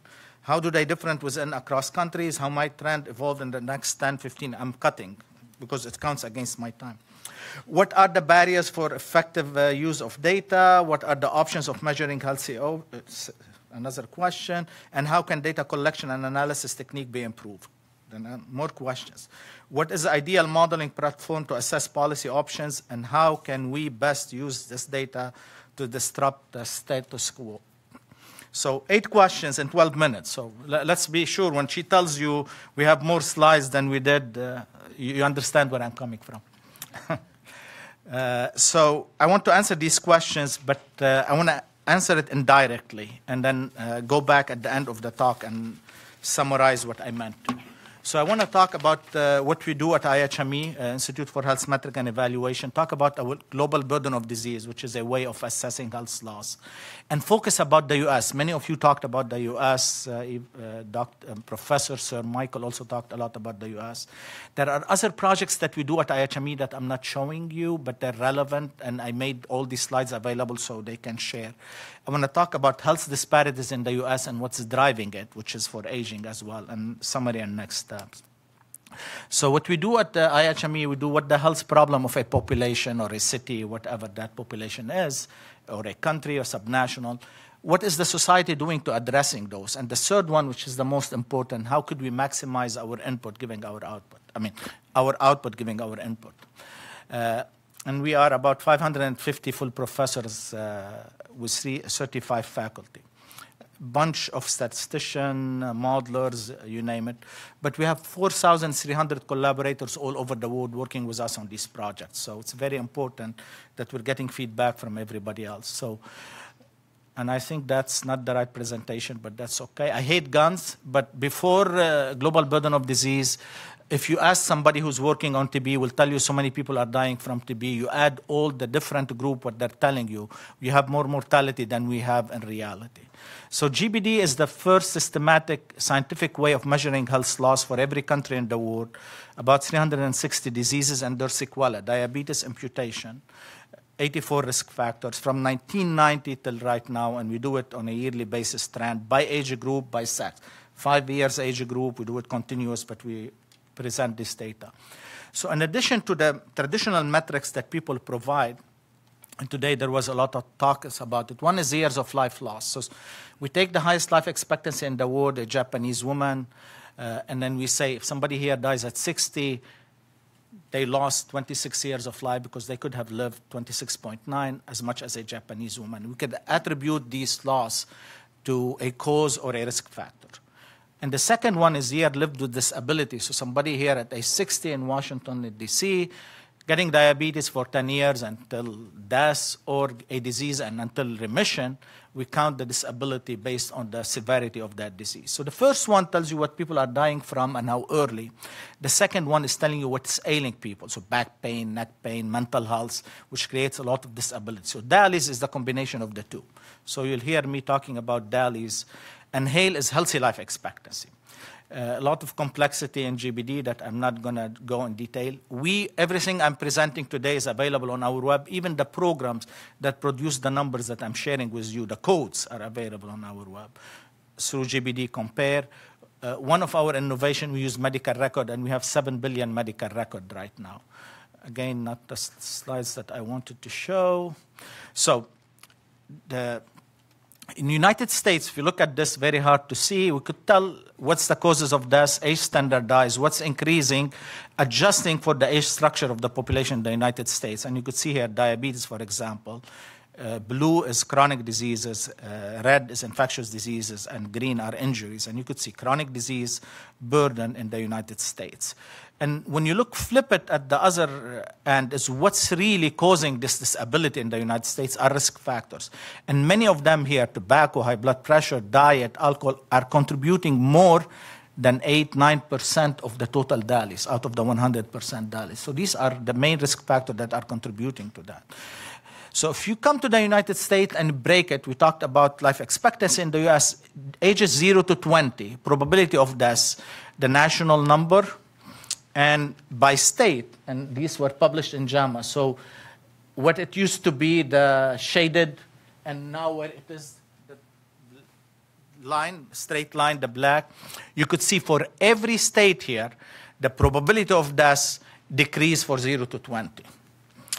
The probability of death for 20 to 55, that's a totally different story. For 21 state, it went back. From 1990 to 2017, the probability of death increased, did not increase. And for many of the states, about 15 remained stagnant. If you look at ages 55 to 90, improvement in every state. There is a huge disparities of the variation, but our main problem in the United States when we talk about life expectancy and we're falling behind everybody else is 20 to 55. And as you could see here from the color code available on our web, it's mainly drug, diabetes, obesity, some of the risk factors, but drug abuse and this uh, and alcohol, of course, in the U.S. And then you look at these risk factors for rank them for every state. They're the same one. Five to six are the top one. Everyone. The variation within the state. California, for example, does better on smoking because they invested in smoking prevention.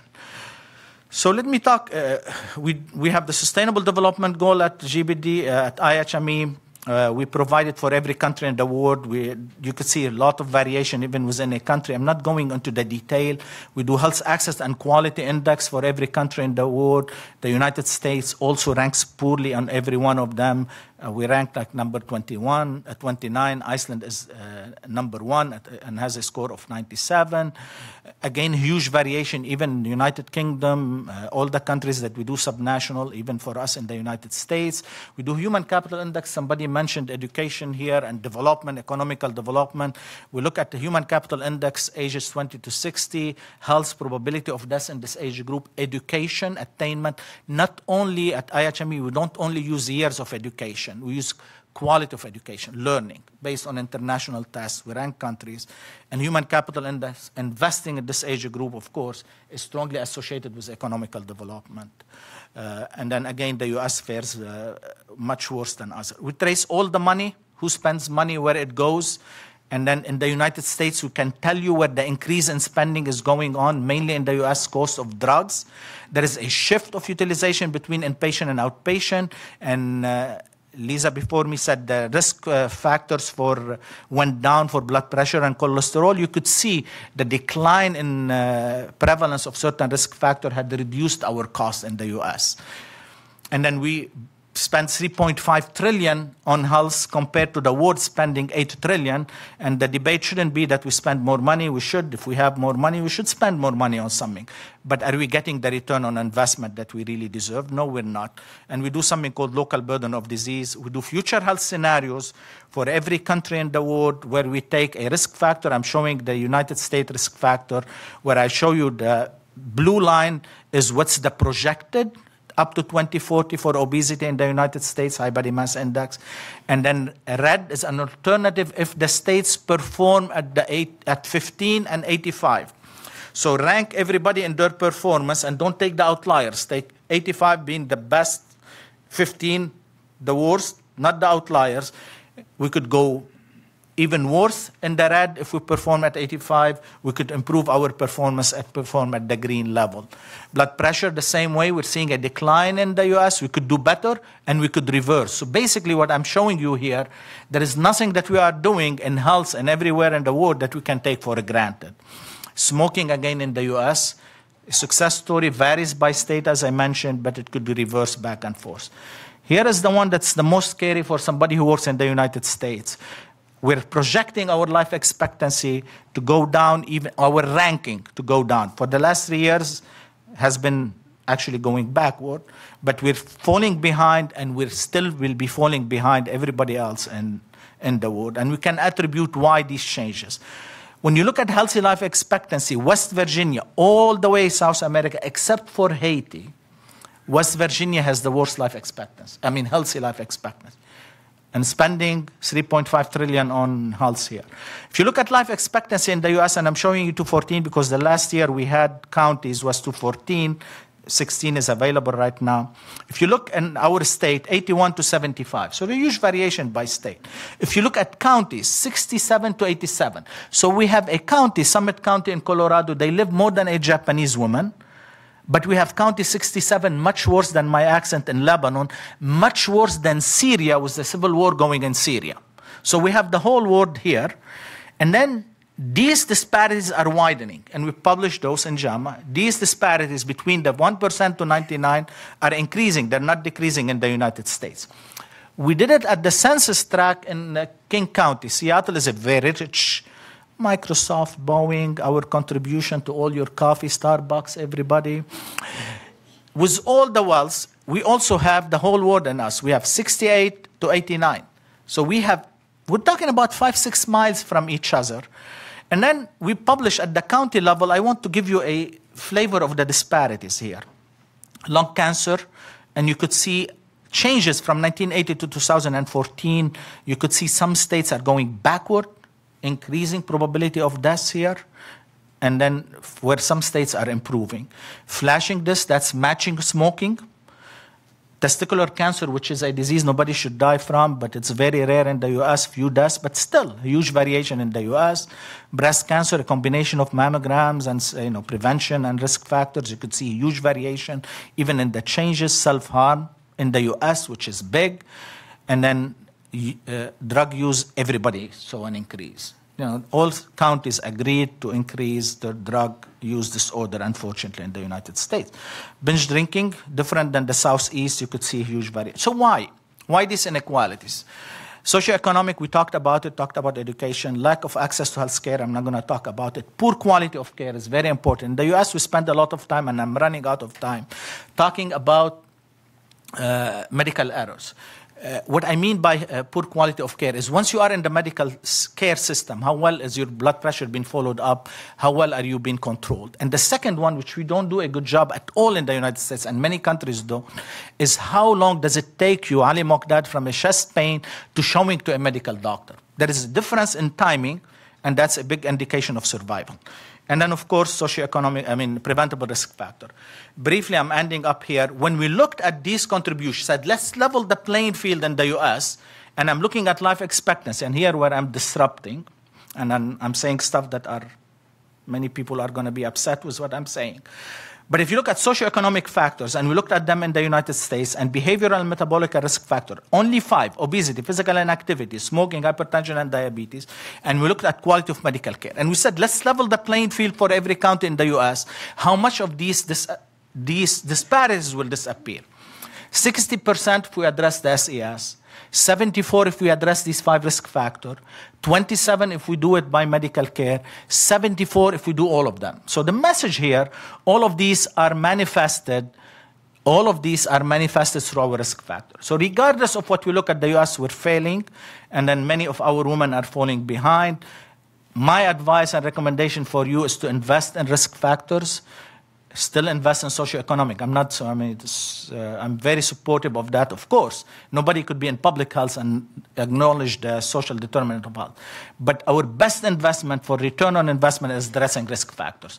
Because if we do so, the poor people will benefit more than the rich people. And if you are healthy and poor, you're more likely to get out of poverty than if you're not. And that's my point, very important. What should we do on the long term?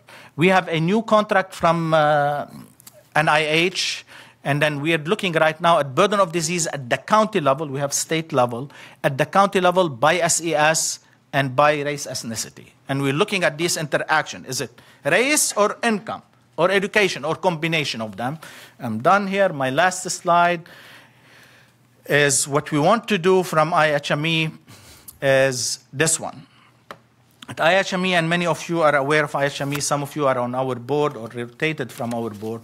What we want to do is we want to look here at what are the trends, the first bucket, and tell you as a policymaker what's your biggest burden in 2040 or within five or 10 years. Then the last one bucket here is to tell you if you invest on this, what is the return on investment from decrease of DALYs and future spending.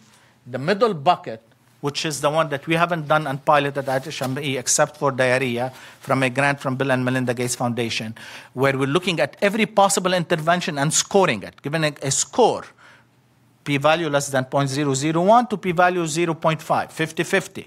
And then we're reviewing all of this, including trade, what the government support, and all of stuff in order for to provide the user with a visualization that no politician right now can spend money unless it's a top burden on his or her country. And even if they pick number three, we're going to corner them by telling them what's available. Thank you very much.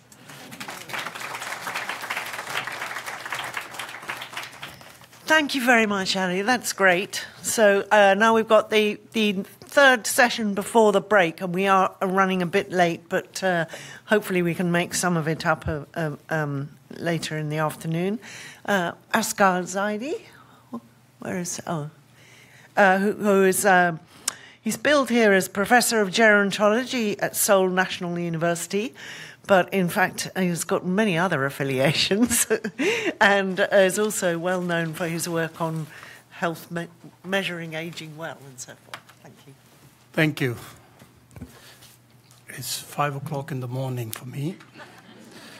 I just traveled yesterday, but I'm so glad to be here, to have this opportunity to present to you some work that I've been doing over the last five, six years. Thank you, Jack, for your inspiring initial work on, on successful aging and all that, which led to this work, which I did um, mainly starting with the European countries in constructing what, I, what we call active aging index. And you would soon see that it's not a concept widely different from what uh, uh, Lisa and, and Michael were talking about as, as healthy longevity. Uh, so we, we talk about the same individuals, same challenges, but we use different terminology in many ways. So my task here is to use my work and present that as a global evidence on what we can learn about healthy longevity, um, and, and especially given the task given to me, what can we learn about enablers for healthy longevity? Hold on to your seats now. What is the active aging index? Why is it relevant for this workshop? I would first very quickly give you what I'm tasked to do so that I could justify that using active aging index is, is the right thing to do. But that's the only thing I could have talked. Um, what, what is the active aging index? Many of you may not know about it. And, and the big question then is, is it really a relevant global metrics that can be used to understand what are the enablers for healthier and engaged lives, which in my view is what you call healthy longevity. And then in the next, in the five minutes that I would be left with, I will present the evidence that I have generated for 33 countries of Global South, Global North, uh, ranging from Western European to Eastern European, Southern European to ASEAN to China, Japan, and Korea. All that in five minutes. Um, but main thing that I want to point to at the end, what can we draw? What insights can we draw from that evidence, and I hope I will get the chance to, to contribute to that report at some stage where I could provide much more than what I can provide in 10 minutes here. So what is the, how is the active aging index evidence relevant? What I was asked to do is to, under, to provide a better understanding of social, behavioral, and environmental enablers across diverse population lifestyles and contexts. And that's where my contribution will come, that I would be presenting a common metric that is for very different, very diverse contexts and, and, and uh, lifestyles. I will be focusing on existing evidence. That's also one aspect that I was asked to do. I would be pointing to successes of policies. When I say some countries fare better than others, I would be pointing to certain policy successes. And again, going back to that future back approach that Jennie was pointing to, uh, these are the sort of policies on which we want to build on, basically learning from the past to go to some ideal scenario we want to achieve in the future. But most importantly, we want to identify opportunities. What can countries learn from each other?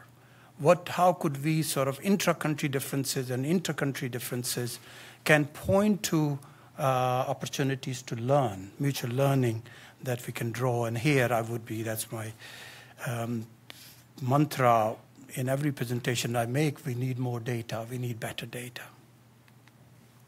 So what is active aging index?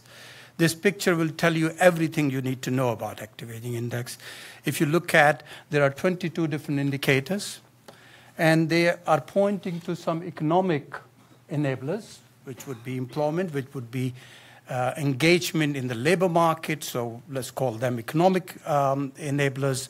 Then we go to social participation, which includes volunteers, care provision at home to children, care provision at home to older adults, and, and civic and religious activities, which is again, if we are talking about healthy longevity, which is about healthier and, and engaged lives, then this is telling us that these are different ways of individuals in their older age getting engaged with the society, with the community around them. And then comes this behavioral aspect, which is about independent living. Active aging should not just be about activity per se, but if you are able, through your behaviors, to be self reliant and independent, that's another finer form of active aging. Uh, so, this third domain has seven indicators, which is about what behaviors lead to your independence. And then comes the fourth, which I thought at the time we were doing this five years ago, we started on it, was very novel, uh, which Riley and Riley was also in, in the literature forcefully advocating that something that missed out from successful aging literature was this enabling environment aspect, which has individual um, behaviors, uh, so healthy life expectancy pointing to people living uh, a longer life course of um, good lifestyles, um, mental well being, because very often in healthy life expectancy, we are only focusing on physical health aspects. We are looking at subjective well being. We are also looking at social connectedness, another enabler. If you live in an environment where you have friends and family to fall back on, um, you live in a more enabling society. We are looking at physical safety, use of ICT, and, and education as a personal enabler in that sense. When I was reading the concept note of healthy longevity, I was surprised how many of these indicators I could link to your discussion on, on healthy longevity.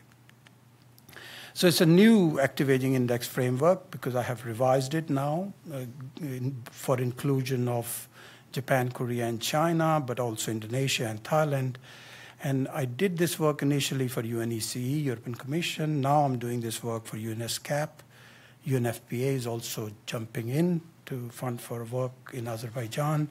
So I'm basically collecting all these bread, breadcrumbs. Whoever pays me little money, I go and extend it for a country. Uh, and UNFPA is chipping in for uh, Azerbaijan. So what insights? And we have got four and a half minutes. These are 33 countries, including uh, EU 28, as well as Japan, Korea, and China, and two countries whose report just finished. So this is the first time I'm presenting the results of those two countries, Indonesia and Thailand. It's not surprising if you look at the overall index. An index is a composite measure which summarizes the information that you have across different indicators. Uh, Sweden, Japan, and other Scandinavian countries are ranked right at the top, not very surprising. And focus for me would be to look at how, how global south differ from global north. And I'm looking at Thailand and South Korea. They are also sort of in the middle of the ranking alongside one of the major countries in Europe, Germany. China and Indonesia not doing as well as Korea and Thailand. Um, but the main thing for Indonesia and uh, for Indonesia and Thailand is that the index value is around two third. So it's it's basically saying that they are as good as they are only two third as good as the best performing country. So there's one could say there is still a scope for improvement. Sweden is the top ranked country, and we see Sweden performs 83.6%, which is not far from 100. Basically, if Sweden would have got the maximum indicator, maximum value in each of the indicators, it would have scored 100.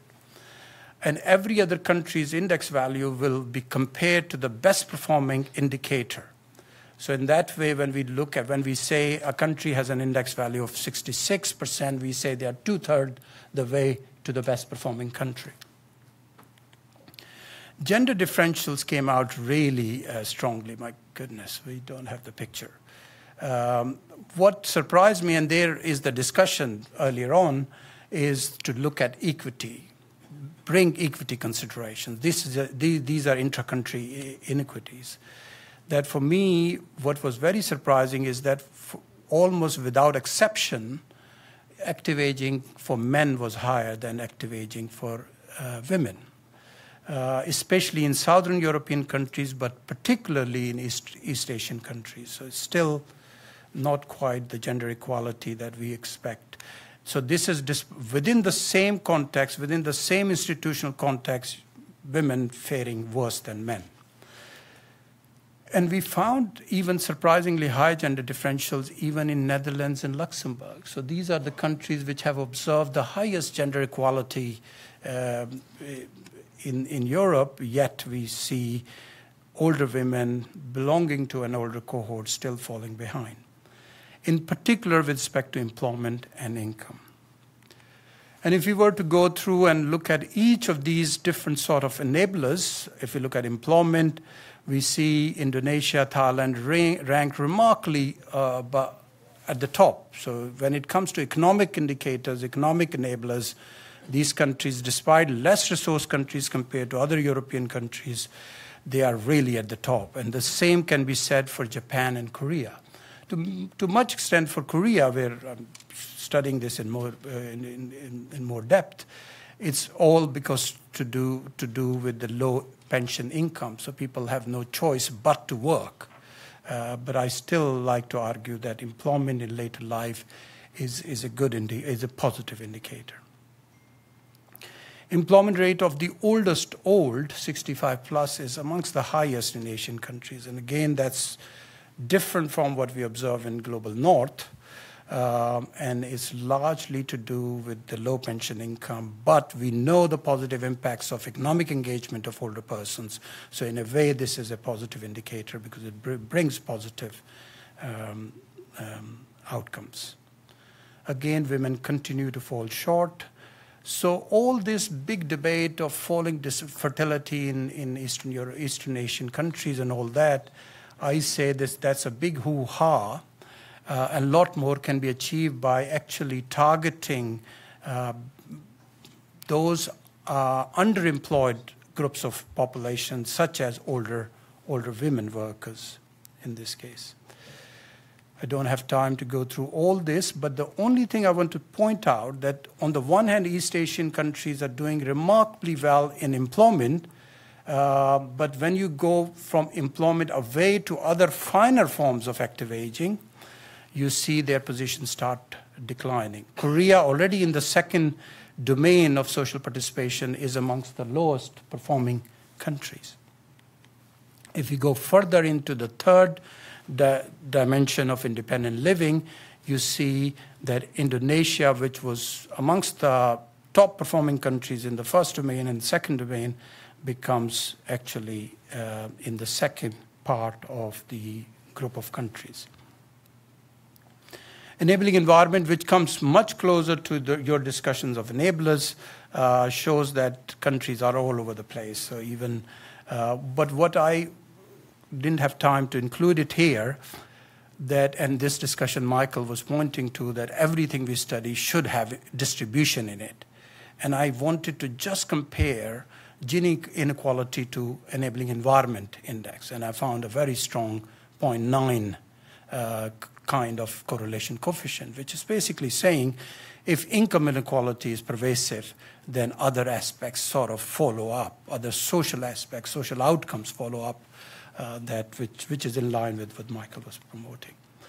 So, what do we conclude from all of this? And I hope I will have time to contribute much substantive piece um, at some point. And, and this is a generic uh, conclusion you could have drawn even without this presentation, norms and context matter strongly in the enabling factors discussion of healthy longevity. Um, and the first goal any country should have in this is to have improvements in reducing intra-country gender differences, which is in line with what Michael was saying. E- equity is important. Um, and here we are pointing to that first goal a country should have is to look at gender inequality and try to reduce that uh, because there is no reason, absolutely no reason for differences between men and women uh, with respect to active aging. Second goal, and this is basically from such a multi country global evidence, we should start learning and drawing conclusions of what policies work what is a good policy and how what factors make that policy work. And, and that, in that respect, the AAI, the Active Aging Index type monitoring metrics, actually provide lots of insights. And future back thinking, I was told that I should be providing some analysis of that, is uh, basically saying that we need better data and we need better monitoring instruments like the Active Aging Index. And in this respect, let me just point out the work is already underway of Titchfield City Group on Aging, which is basically doing a global stock taking of what data exists on aging related um, um, um, issues and how we can go about making recommendations global, worldwide, to improve data on, uh, on aging related statistics. Thank you so much.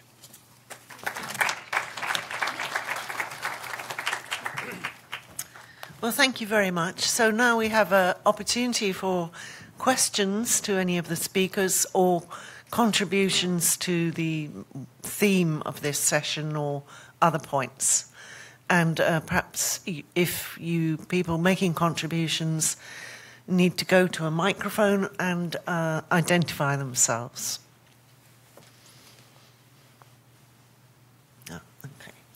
Well, well, I think I'll maybe start by asking a kind of measurement issue. So, Lisa, you you um, you took healthy longevity to be the same as healthy life expectancy. So, I don't know whether everybody agrees with that, or whether we think of longevity as being life expectancy after a certain age, or, or, or whether there's there's some kind of um, difference in that. Um, and but I think you raised some questions which I thought were uh, important in the whole discussion. One is about the um, spillover from one group to another. So, the health and circumstances of older people are important not just for them, but but for their younger family members, the societies that they live in and and this comes across too in these these sort of index um, that Asghar's using, which is based on kind of um, macro community things, but perhaps needs we also need to think of the cohort thing. I mean, Lisa, again, you made the point that. Um, if we're talking about the next 20, 30 years, we're talking about people who've already lived quite a large part of their life. Uh, and so their employment trajectories, for example, will be influenced by uh, their cohort experience, which may be relevant. Say, women in the Netherlands actually used not to work very much, I believe so. And then the um, global burden of disease, which we, we've seen they've got assembled a, a huge amount of um, data and measures and, and everything. So here we got the message that what we should be focusing on is behaviours and and these um, risk factors. But maybe other people are thinking, well, we, we need to work out what determines the risk factors. But I, perhaps this is an approach. If you focus on risk factors, you you you might be able to identify um, things, targets that you can particularly go on. Um, interesting. You you said, of course, the poor will benefit more, and and I'm sure we'd we'd there's a lot of truth to that. But I think there are some interventions like tobacco control ones which have tended to widen um, differentials in mortality from smoking related diseases, although that, that's not, not a reason for not having them. So but I think we need to hear from some other people with some questions about measures. Right, great. Hi, thank you very much. Uh, I'm Charlotte Yeh um, from AARP Services Inc. Um, first of all, thank you very much for your excellent presentations. I just wanted to throw out a question since you've identified social connection, isolation, and loneliness being very critical for healthy aging or active aging. Um, but I noticed nobody spoke about sensory impairments, particularly hearing mm. loss, mm. which is hugely prevalent with age. Uh, we know, at least in the US, about two thirds of people mm. 70 and older have clinically significant hearing loss but do not get hearing aids. And is that an intervention that ought to be considered to improve active longevity and productivity and the ability to work past 65? Mm-hmm. Uh, who, Lisa, or who wants to answer that? Uh, or may, maybe Ali? Let, let, me comment on the social isolation part. You should comment on the hearing um, part. I want to say that that there are health conditions that determine social isolation, certainly hearing loss, sensory deprivations, cognitive decline, influence social isolation, as well as the reverse. Um, you know, the causal diagram probably is bidirectional um, for these things. And I think a big question for us is how much do, do um, do we want to think about prevention, that is, prevention of hearing loss, prevention of high cholesterol, prevention of hypertension, hypertension um, how much we want to think about those things versus treating those things effectively. And it isn't either or. Probably it's a both and um, for these things. I tend to be on the prevention side um, and really think about what could we do to stop those things from having such a precipitous decline over time. But I think there's another perspective, and undoubtedly, you're going with the, the medical care side of things will pick this up. So we do we do have here loss in GBD, and we have vision loss too. So we have both, and uh, we have also what uh, what the burden that they contribute DALYs, and we have once you adjust for it, like hearing aid, we have that. So it takes you another it lowers one level, unfortunately, not that much. Uh, and in GBD, in our future health scenario, you could come and then compute for each country or each location uh, what will be the burden from it given the 15 and 85 that I mentioned. So that's available. We do that. Thank you. Okay. Uh-huh. Can I before answer the question you asked about uh, life expectancy and healthy life expectancy? From GBD, you can take age 50 and say what's the probability mm. of death till age 60 or age 70, and you could do the same. What's the healthy life expectancy out of these 20 years, like 50 to 70? So you could do it either way mm-hmm. if you want. Okay. Hi. I'm Michelle Jackson from Stanford University. So I have um, a question about the data uh, that is, you were bringing up. Is this up. working, this microphone? Uh, okay. Keep going? Okay. Yeah. Uh, closer. Okay. Uh, so I have a question about the data. Um, it seems that if you're taking a life course perspective, that places immense demands on data. And so I'm wondering how much progress has been made in terms of getting access to, say, administrative link data, because cohort studies are only going to be able to get you so far once you take a life course perspective and once you want to compare across, say, whole centuries of data. Okay.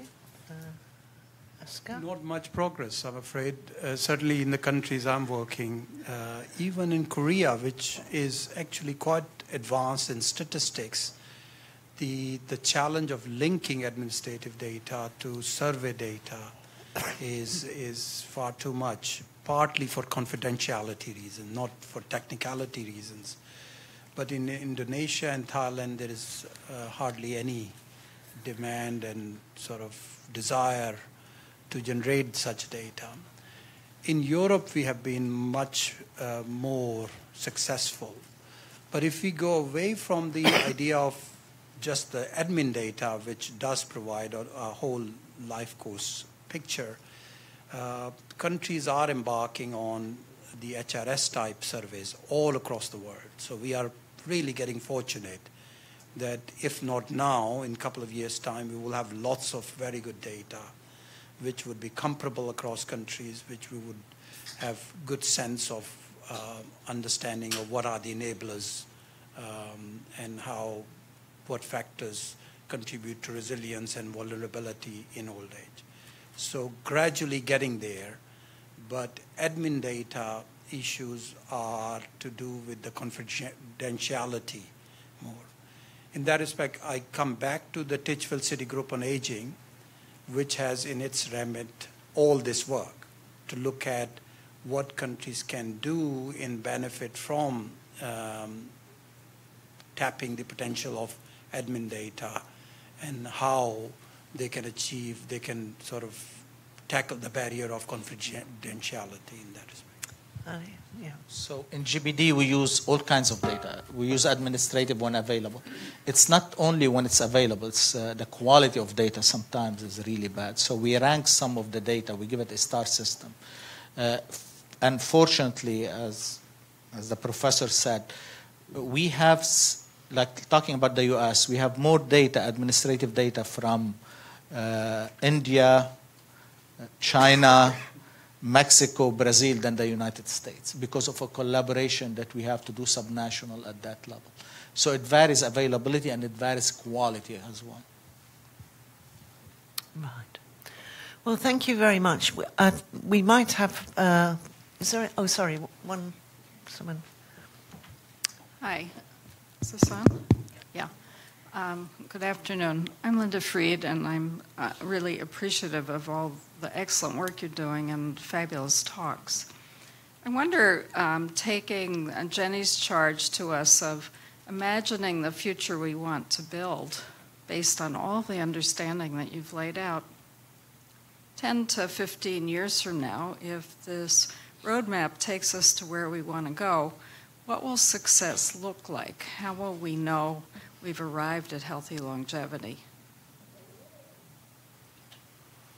Right, so that's a challenge for each of you in about 30 seconds, please. I mean, the simplest one is to take the best country that has the best healthy life and say every other country could aim to that. Similar to what we do right now with life expectancy. We say if a Japanese woman can make it to 86.9, everybody else should make it. So if you take the best healthy life expectancy right now among the older people and say if everybody can reach that, that is a target that we can convince people that you have done it. One, one way. The second way is within a country, when we look at this variation, it's easier for me or you or anybody else here to convince a prime minister or a minister of uh, education or a minister of health to say, you've done it in that region.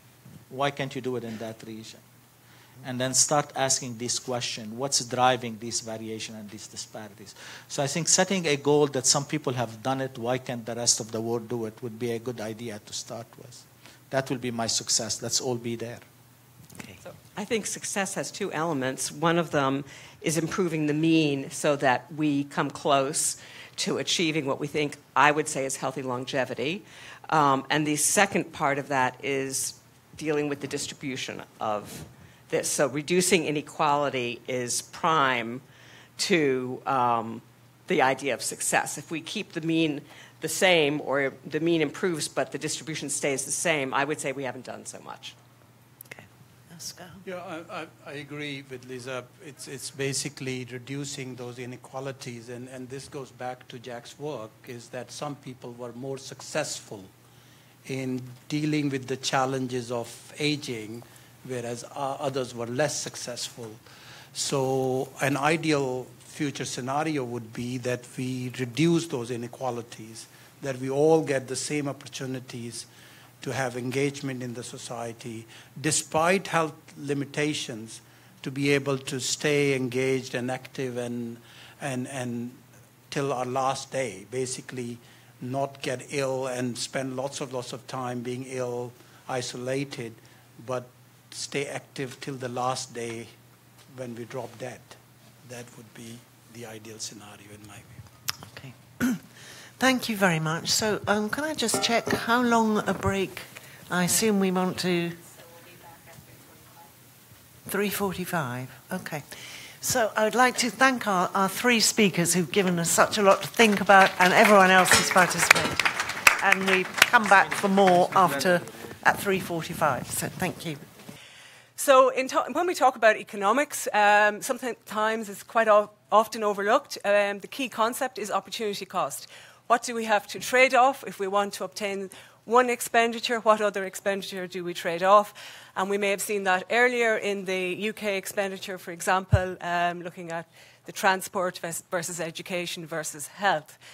So, for older people, um, for looking at economics of aging and longevity, uh, older people are two things producers of goods, they're working and they're still working now after the age of the, the standard definition, 65 plus, which I'll come back to later, uh, working well beyond into later years. So um, I do have a chart here to show that across uh, various countries, but in fact, actually, I'm not going to be able to show that unless somebody can hone in on it. Um, no, that's, that's not it. So we'll leave that for now. It just shows that over different countries, it shows the, the number, the proportion of people working beyond age 65, and that's called the proportion of older people working beyond age 65. In addition, older people are consumers of goods, so the trade off here, the opportunity cost, is between leisure, consumption, and also hours worked. And at the moment, this is leaning more towards leisure. People are uh, going into retirement, but increasingly over the years, this is, uh, retirement is being extended and we're being encouraged to retire later. The question for economists is is that a push? Is it discrimination? Or uh, is it maybe a push for, for health reasons? Or is it a pull? Is it desired consumption? People prefer more leisure. Or is it a pull in terms of an interaction also with, with health? So there are a lot of various interactions going on there. Also, in economics, intergenerational wealth and poverty um, is very important, not only going from older age groups downwards, but also from younger people upwards. And uh, We've also done a study, uh, one of the PhD students at University of Queensland looking at intergenerational health, and she was showing that um, older older uh, children also influence the uh, the parents, the older parents' health, uh, mainly through the informal caring route. So that's something we can't forget about as well when looking at data on economics. Looking at it from a point of uh, view of health, because I work in health economics mainly. Um, we have to remember that the market forces that usually occur across markets are not really very useful. There is uncertainty of information, there's uncertainty in health, uncertainty of, of time of, of death. We, none of us can predict that. And also asymmetry of information between providers and consumers um, mean that we can't use the standard market force approach. So looking at some data here, um, we all know that, that longevity has increased. We've seen that a few times now today. And also the health income gradient is very relevant here, was also previously mentioned. So you have seen some of this information already, uh, where we see uh, a map here of, of, the US and the various um, uh, life expectancy, and also then think about it in terms of, of poverty. Now, these are not actually causative, these are just correlations. So we have information on um, life expectancy and, and, poverty, but in itself, that's a very interesting uh, set of data to, to look further into and establish direction of causation. This graph you've also uh, seen to some extent in that you've seen already the, the uh, proportion of people 65 and, and how um, that's increasing, and then also uh, the proportion of children decreasing. If we look at it from the dependency point of view, so that's the proportion of children under 15 compared to the, the working, the labour force participation uh, number, and compare, and also the, the old age dependency rate. What you see is that um, over the years, and this is focusing on the Australian data, but it's quite common across the world as well, that this graph is going to overlap, and, and this, is, this is not unfamiliar territory to us here. What I should say about this is that is the um, the standard definition is problematic here in, and this is my view on the age 15, but also on age uh, 65 plus. And again, bringing this back to earlier speakers about using the, the average approach is also problematic, but we, ha we have to have some data and start somewhere. So I would say we need to uh, relook look again at this age dependency figure, uh, age rate, and then um, predict forward on that. So with all of those um, uh, data that we have, um, uh, we have several emerging questions in terms of economics and what costs are likely to be incurred. Remembering that we're talking about resource allocation, there's only one pot of money across the world, so we have to have these opportunity costs and trade offs. And we think about it maybe in terms of healthcare utilisation. Quite often, expenditure is looked at from a direct point of view, but we also have to take into account the societal point of view and interlink all the various uh, concepts there from transport, health, housing, employment, etc. And we need to uh, look at a, a, pathway for an individual from beginning to end, an individualised care pathway, and then also how we can average that out then and aggregate up into the economy. Health shock effects are also very relevant in, in the literature. Look, if we have uh, an, an acute onset of a health condition or a recurring health condition, how will this impact on the decision to work? Or the other way around, how will um, work uh, impact on these on, uh, on the, these events. So reverse causation can often lead to uh, bias in correlations of data, so we need to be careful about that. A big question that emerged many years ago was that is it aging? Per se? Is it the fact that it's bio biological aging or simply end of life expenditure?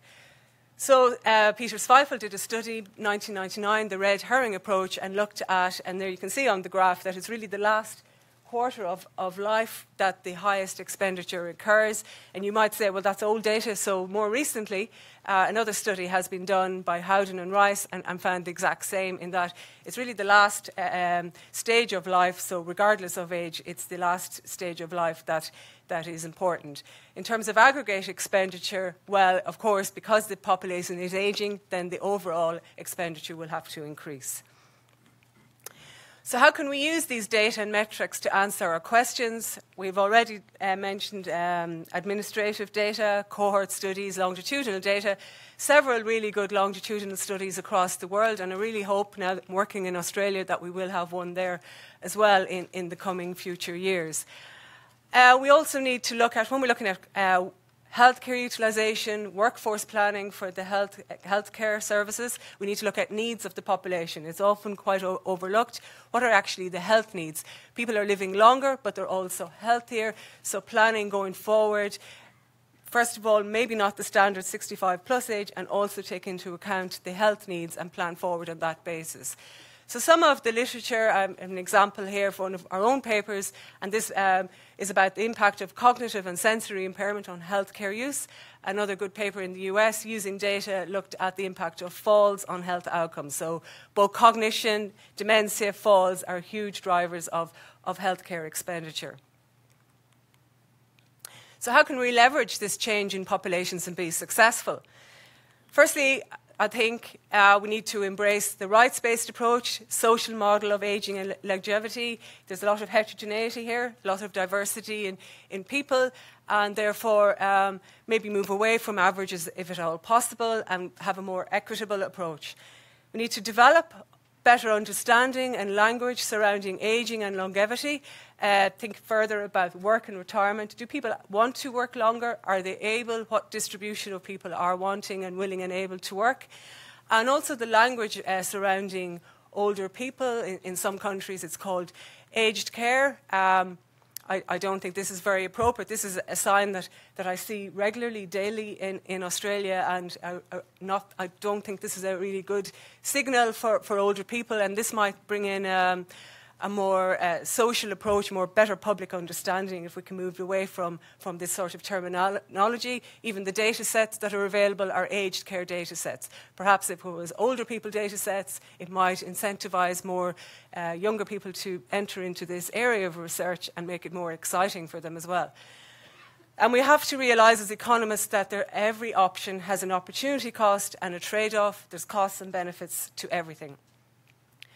Our success would be if we had healthy years that are cost and it's cost effective, independent living, sustained quality of life, so not only access to care but access to quality care, remembering that there's one pot of money, this is a resource allocation issue, and we have to have trade offs across the board.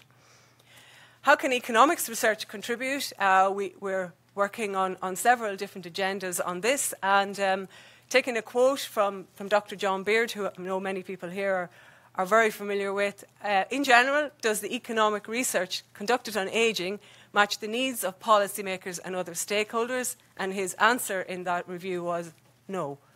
And that, to me, I actually stuck it up on my uh, notice board in, in, the office for people to see so that we can say there's a lot more research we need to do here. Research partnerships are therefore key to this success across um, universities, public sector, private sector, everybody working together to formulate the, the, correct questions, use the correct data and methodologies, and then inform policy as a result. Thank you.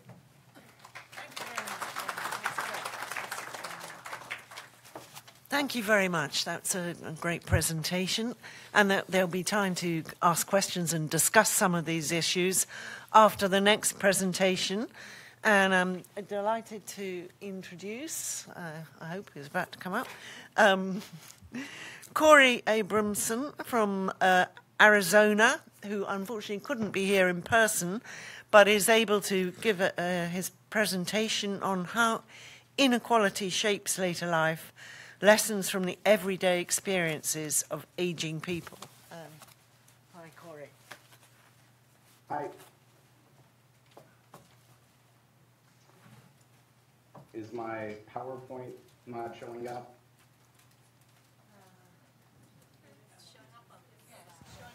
Corey, we, we, we, can see you. Corey, we can see and we can see the PowerPoint. Okay, excellent. okay, um, first, um, I'm really sorry that I couldn't be there in person for this talk, but I'd very much like to thank uh, the organizers and the Academy for inviting me to speak on this issue, which I have spent uh, most of my career working on, and that is charting how inequality shapes later life and examining what we can learn from the everyday experiences of aging people. And what I hope to do in this very brief presentation is outline the model of unequal aging that I presented in my 2015 book with Harvard University Press to show how uh, our understandings of later life can be informed by the everyday experiences of older adults. At the risk of reiterating things that may have been said earlier, uh, I'd like to begin with two facts of tremendous social scientific and policy significance. The first is that uh, the population is aging in general. Um, take out the headphone here because I'm hearing an echo. And the second is in America and much of the world at large, this process remains tremendously unequal. So, from my vantage point, it's impossible to talk about healthy and successful aging without recognizing its quality, which is that who lives long enough to uh, grow old, to receive a social security check, and who dies before they ever have the chance is profoundly unequal, both within and across societies. And in the US case, this mirrors the broader racial and sociological, uh, socioeconomic disparities in life chances that shape our opportunities from our first breaths to our final days. Now, this is probably no surprise to those in the room that there is a voluminous literature on this topic in public health, epidemiology, health economics, sociology, demography, and related disciplines that shows consistently the poor and socially marginalized have shorter lives on average, what demographers euphemistically call selective mortality, that those face physiological issues Oh, that's really bad. Due to their differential to factors that stress, environments, and unsafe labor conditions, that the advantages and disadvantages, wealth, and health they face continue to accumulate, at least in the U.S. case, over the life course, despite the provision of necessary measures like Social Security and Medicare, um, and that despite, um, I guess this is where I enter into this discussion, despite a, a sort of massive pool of aggregate data on these topics, comparative studies examining how this operates in the everyday life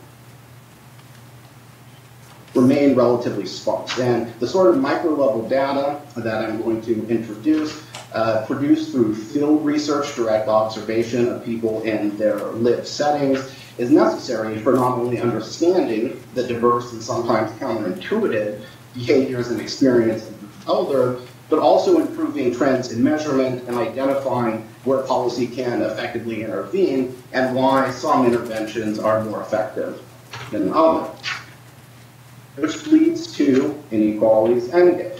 So the model that I'm going to present in a moment draws on this book project, which is based in two and a half years of field work, upwards of 2,000 hours of direct observation, uh, of older Americans in uh, settings ranging from senior centers to hospitals to homes to pool halls to bars and eventually interviews as well. And overall, what I show is that distinct analytically distinct, but uh, sociologically intertwined mechanisms of inequality, health disparities, neighborhood effects, wealth gaps in individual resources, cultural understandings which reflect prior experiences with the world, and social networks create to converge what I call an unequal endgame that structures the lives and shapes the health behaviors of older Americans. And throughout, I focus on the importance of looking at how they understand this process, because if for no other reason, uh, if people are not interested in voices, etc., how people think about the world affects how they act. And today, I'm going to provide the briefest of overviews of this model, uh, which I expect, although ultimately is an empirical question, uh, would be transposable outside of the US context. So, a model of unequal aging. So if I'm re- to reduce those 2,000 plus hours of field work uh, and the six years writing the book to five bullet points, this is what it would look like. The first thing is that it's necessary to understand uh, later life, to understand who gets to play, right? Who gets to step onto the playing field. So the health disparities uh, that shape who even gets the opportunity uh, to enter into studies like mine or these discussions. So, who survives to reach uh, the golden years?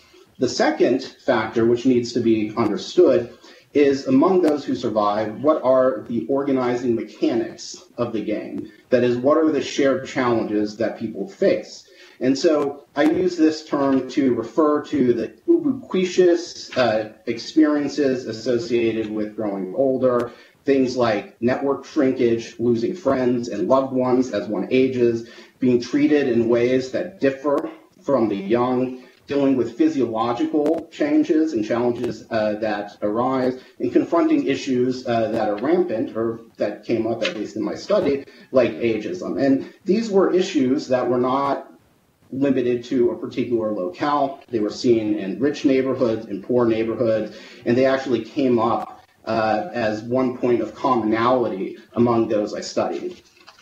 Third, recognizing that there are common challenges and something anthropologists have written on uh, for quite some time, people face these challenges on an uneven playing field, which is defined by structural inequalities. So some face things like arthritis, the death of a friend or loved one, a diagnosis of cancer, etc., with tremendous wealth, in neighborhoods with great local services and robust social networks, and others face these same problems with none of these resources. And um, although I'm going to talk a bit more about culture and experience, really the structural issue for me is, is a point where we need to think most uh, carefully about intervention. So it's hard to go to a good doctor if there are none around. It's really hard to modify your home to reduce the likelihood of falls if you don't have money to do so or the education and cultural wherewithal to navigate the obtuse bureaucracy necessary to receive this in some alternative mechanism. However, understanding inequality does not stop there. It requires looking at team dynamics, uh, network differences, not only who you know in the sense of breadth and density of social networks, what we most typically measure, but what that means right? So is uh, being connected in a dense network a source of help as somebody navigates challenges or a source of stress? Uh, these are things that are starting to make their way into measurement of networks, um, but is really important to understand the dynamics. And then finally, understanding the complex variation that we see requires looking at the different styles of play that people and groups deploy. What I call cultural responses that are grounded in a lifetime of prior experience. And culture, in this sense, in the sociological sense, shapes which actions and strategies are seen as desirable, reasonable, and sensible for elders given their present realities. Now, the book as a whole presents a model that aims to be anti reductionist and it looks at the way uh, these various mechanisms combine and interact. But I'm going to talk a bit more about this last point because it shows uh, the importance of paying attention to the experiences of older adults. So for me, this was really epitomized uh, by a puzzle, which uh, could be phrased as follows. Why does Jane skip chemo while Lainey goes? Now, First, I should note this is not a, a, vignette or an anecdote. This is not a composite. These people, I use pseudonyms in accordance with the IRB mandates, and this was seen throughout my data as a more general pattern, uh, although it's going to be presented in this sort of narrative way. So, in my study, Jane and Lainey were two white women in one of the middle class areas that I spent time in. They looked demographically similar uh, and faced a very similar challenge, in this case, treatable early stage breast cancer. Now, Jane had a college education, she had insurance, she had a car, she had friends, and she knew, uh, she was actually quite well read about issues of cancer, that it was a bad move medically to skip chemo. And she acknowledged this on several occasions. Lainey, who literally lived down the street from her, had the same characteristics. She would look identical on a number of the surveys that I've used, but despite these similar characteristics, got chemotherapy religiously and ultimately went into remission. Now, in this case, their behaviors are not reducible to the rationalist trifecta of information access and resources. In fact, most of these things have been controlled out if we're to use that language. They're in the same context, they're dealing with the same problem, and uh, in fact, they'd be indistinguishable on things like the longitudinal studies on aging, um, at least the older versions that I used back in graduate school, which was part of the motivation for the study. It's not that Jane lacked something like cognitive flexibility or sense of efficacy, but really something much more fundamental, which is that unlike in the structural examples in my book, which focus on disparate individual and neighborhood resources, in this example, Jane and Lainey valued fundamentally different things. And Jane was quite articulate, as was Lainey, when she said she saw this idea of prolonging life as fundamentally unreasonable. I might say that, uh, you know, being 65 is not that old, but for her, she said, why would I bother living to 90 and have no fun? And for her, spending meaningful time with friends, going out, was more important uh, than prolonging this as uh, fundamentally irresponsible. Um, she she saw it was it bordered on inconceivable. So let me clarify. You might say, how is this this how is this culture? So this is culture. Uh, in the sociological sense. So this is not Oscar Lewis's model of culture. I'm talking about shared understandings grounded in prior experiences with the real world that shape what people view as desirable, reasonable, acceptable responses to the present. It's not shorthand for demographic. And in fact, that's why I chose the example with Jane and Lainey. It points to observable and measurable variation within something that might get compressed uh, in an error term. So again, this is not a sort of isolated story. These distinctions between preserving the body and maximizing enjoyment at the cost of longevity were seen throughout my data and, in fact, in my subsequent studies of terminal cancer. Um, and these sorts of preferences are key to acknowledge. However, they're not just randomly distributed psychological features.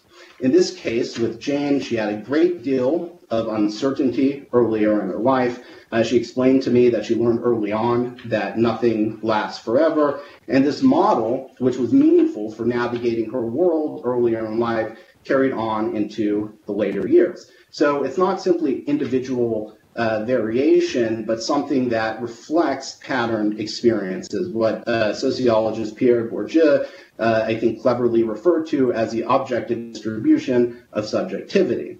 Now, I could have picked, and I discuss this in the book, examples that are much more directly related to inequality. And this is where you see, um, you know, this, this influence as well. So those who had encountered poor treatment or dealt with medical errors were often much more cautious or distrustful entirely of the medical establishment. And as we know in health policy, uh, that these burdens fall disproportionately on those who are poor and marginalized. Further, in the U.S. case, memories of historical events like the Tuskegee experiments, led many of the older African Americans in my study to avoid doctors. They had just sort of, um, you know, a very reasonable trepidation about uh, what they were doing. And some in my study saw doctors not as highly trained uh, experts or technicians, uh, but simply as, quote, hustlers who were just out to bill you. And although this sort of variation, again, based on pattern prior experiences, is often ignored, cast as misinformed or irrationality, poorly measured or reduced to a cultural error term in statistical models, these views, these orientations and motivations had a powerful impact on behavior, particularly in understanding behavior within a social strata. So, to get to the conclusion, what are some of the implications or lessons for policy? First, I'd say it's necessary to look at the intersection of aging and social inequality to, to address either. And too often in the past, these things have been parsed out. So it's not adequate to focus on policies uh, that examine how all individuals might age successfully without looking at the broader patterns of who even gets the opportunity uh, to enter into these discussions.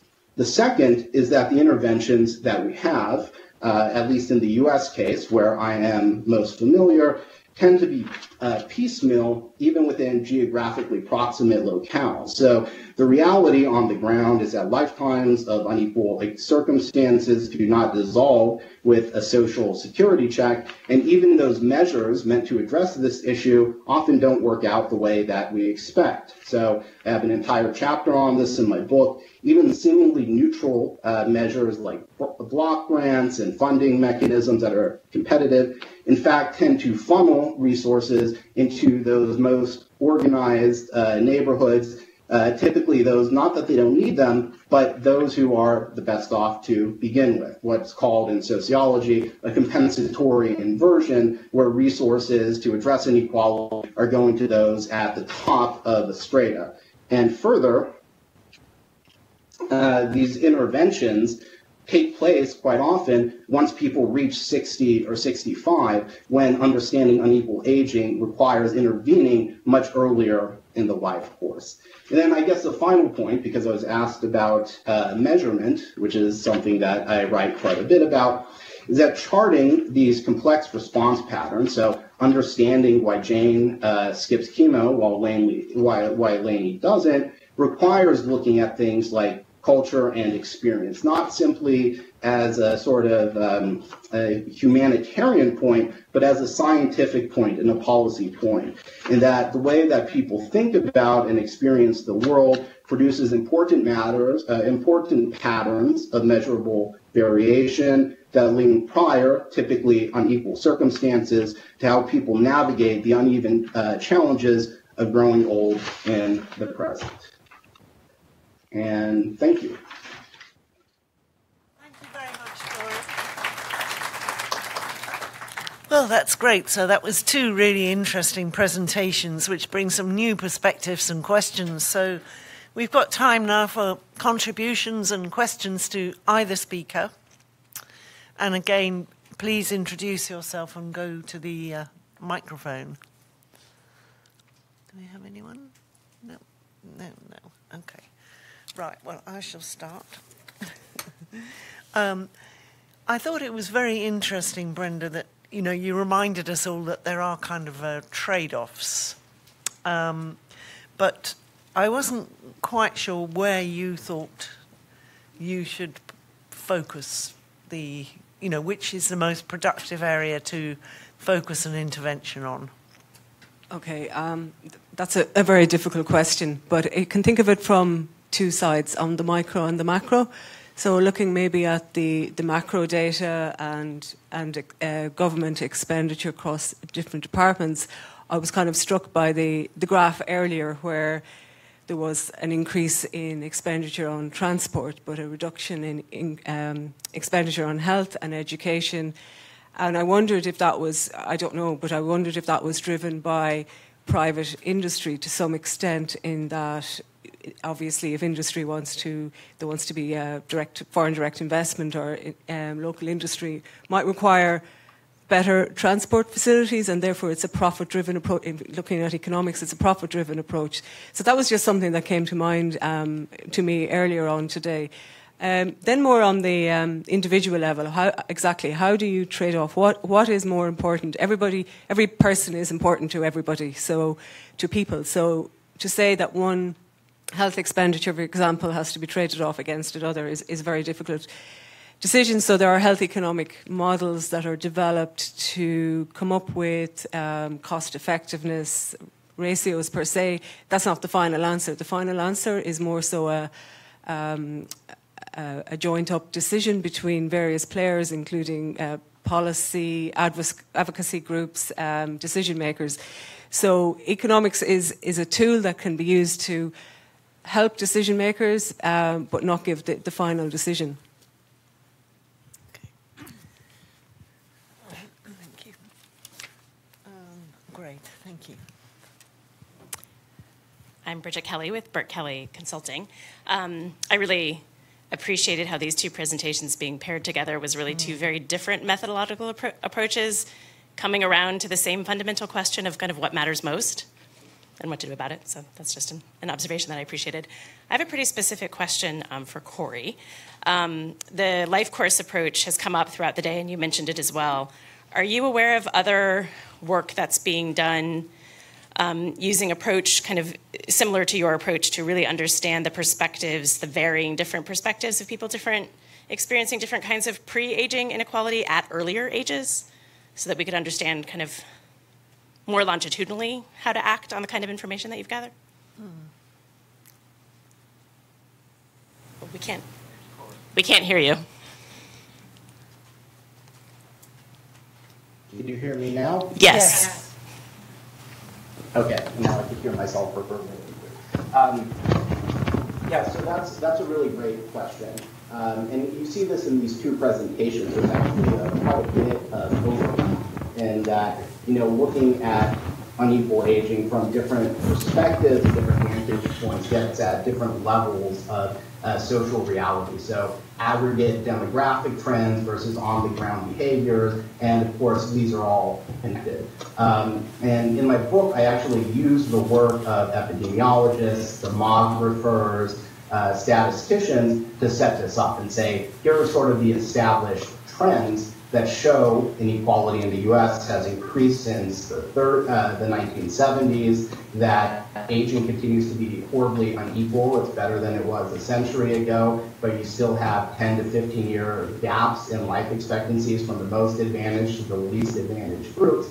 And uh, this is something that I really feel that there has been a lot of progress on in terms of measurement, you know, going beyond typical models of age period cohort effects, trying to parse out individual variation. There's a lot of work critiquing this idea of the crossover effect. And I think perhaps the best thing that I could recommend for um, a review of this would be Deborah Carr's recent book called The Golden Years. It was a Russell Sage uh, commissioned project in which she sort of goes through and reviews all the statistical evidence, um, or not all of it, but quite a bit of it uh, on inequality and aging.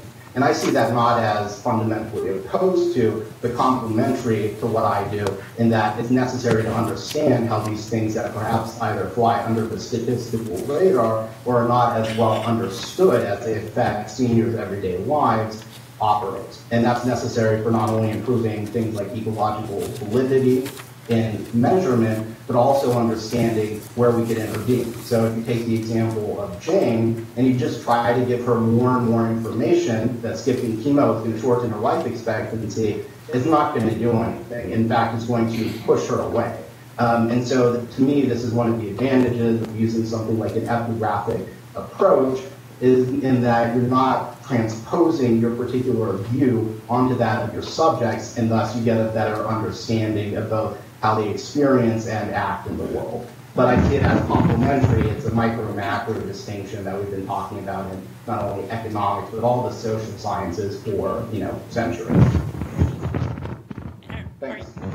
Are, are you aware of anyone doing that kind of ethnographic work about aging with younger people? With people in their 20s, 30s, 40s, 50s. operates earlier in the life course. Yeah.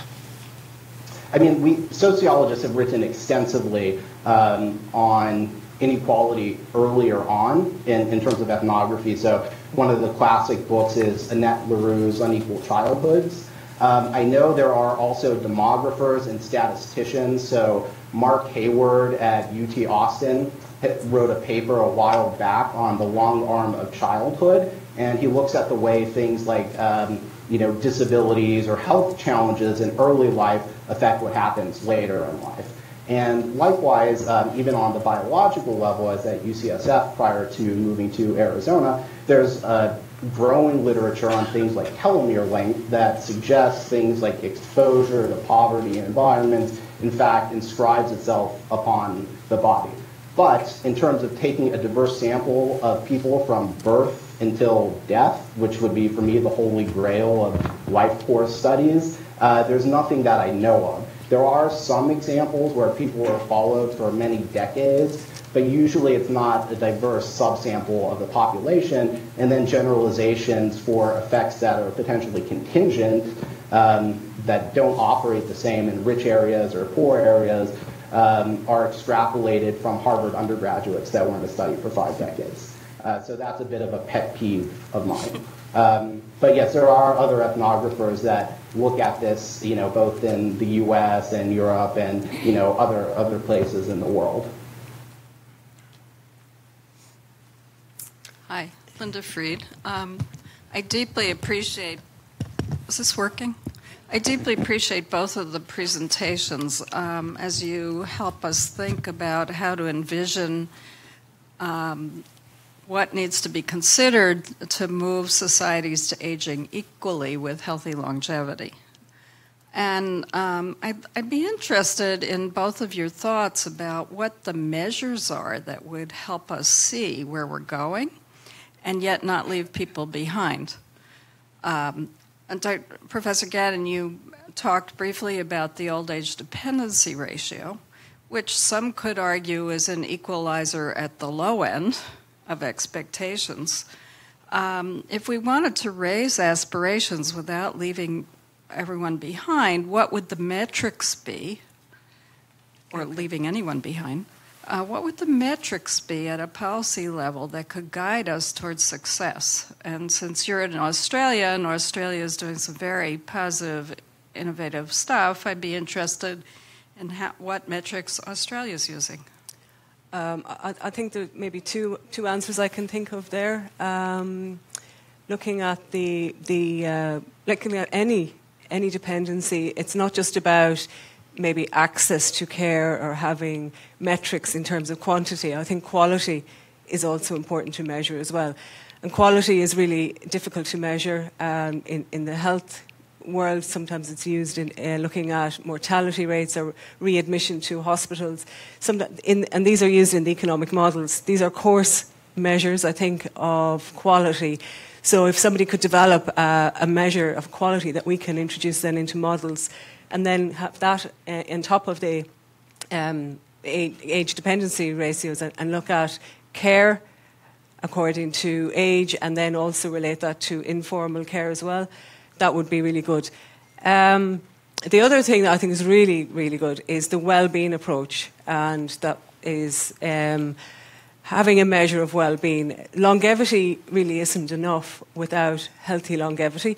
So if we live longer, we want, we want to have a healthy life. We want to be independent and living. So that, that is, um, again, very difficult to measure. And, and um, it's really great that now our government's taken that on board to, to look at. And even in Queensland, there is a, there's now a board for uh, well-being and, and measuring well-being in, in, in all ages, actually, um, across the life course. And it also can't be just... Um, at older age. It has to be at all ages. And, and, and to introduce um, the notion of older age as, as just sort of a normality thing rather than aged care, as I said in, in my um, discussion. The, the, the, the, notion of aged care I, I found quite horrific um, when, when I moved to Australia and not realising that that's how everything was measured. I was critically reviewing articles saying this is not right. You have to say uh, people uh, older people or um, older people with health problems, or it's like an older person with disability. You don't say disabled person, so you don't say aged person. And um, that actually was was then published because, of course, that was the way the data is measured. So there's nothing uh, researchers can do about it. So in order to have, have good outputs that can be in, then be used to influence policy, I think the terminology might need to be a bit more globally uh, similar, harmonised, just like the longitudinal studies are harmonised across the world, if the, the concepts are also harmonised. And maybe well-being is, is one way to look at that and have a really good measure of quality, quality of life, quality extended life, and well-being. Corey, did you have anything to add? Maybe. Yeah, I, I um, agree with a lot of those points. Developing new measures in, in, in, social science. I guess I would raise um, a parallel problematic, something that you see in the US case, which is not necessarily a lack of data on things like inequality, but perhaps a lack of political will. And similar to this. Insurance was how do you, we fix this? Um, and I said this is above my pay grade as a sociologist, but I'm not sure that there's an easy way. So even use the crude metrics we have, I agree that you know looking at averages and life expectancy and not sort of parsing pathways is problematic, but we have tremendous data that these inequalities exist. They exist in life expectancies, advanced care planning, ADL versus IADL measures. We could include more things on attitudes and experiences. Um, but, you know, here in, in this context, one of the questions is, you know, at what point do we have enough evidence for being substantial amounts of that? Uh, the patchwork safety net that characterizes the American uh, social welfare system has always been characterized by distinctions between deserving and undeserving. Um, so I, I, hate to be a downer and, and bring this up, but um, as much as I believe in science and measurement, I don't think that that is ever going to be a sufficient way to address these issues it's a starting point, but not an end point. And hopefully somebody um, more more savvy than I am in terms of navigating these uh, sort of political structures might have a better way to push that forward. Is there time for another question? Yes. Yes, one. thank you. Um, so, short comment and then a question. Um, we've been discussing healthy longevity, and focusing a lot on the structural determinants of our our own health. And, and I suppose I tend to use the healthy aging framework of WHO in thinking about, so that's a lot of the focus on intrinsic capacity, so our actual intrinsic capacity. And what we've not really talked about are the inequalities and how some of these structural inequalities actually impact on our functional ability. So you can have two people who actually have the same health status in terms of intrinsic capacity. But because of living in poor housing or a community where there is, you know, no transport, where the sorts of jobs that are available to them they're not adapted to accommodate their um, health conditions, they can have very unequal experiences of aging. And so that was sort of a comment, really, that we've focused a lot on the intrinsic, the structural determinants of health, rather than some of the structural context in which people unequally age. And so my question really was um, both from an economic point of view, um, in terms of resource allocation, should that suggest that we should be focusing on a different allocation of resource to things like housing um, and some of these uh, measures, and also whether there were insights from your ethnographic work that sort of uh, illustrated that um, uh, those differences in terms of context?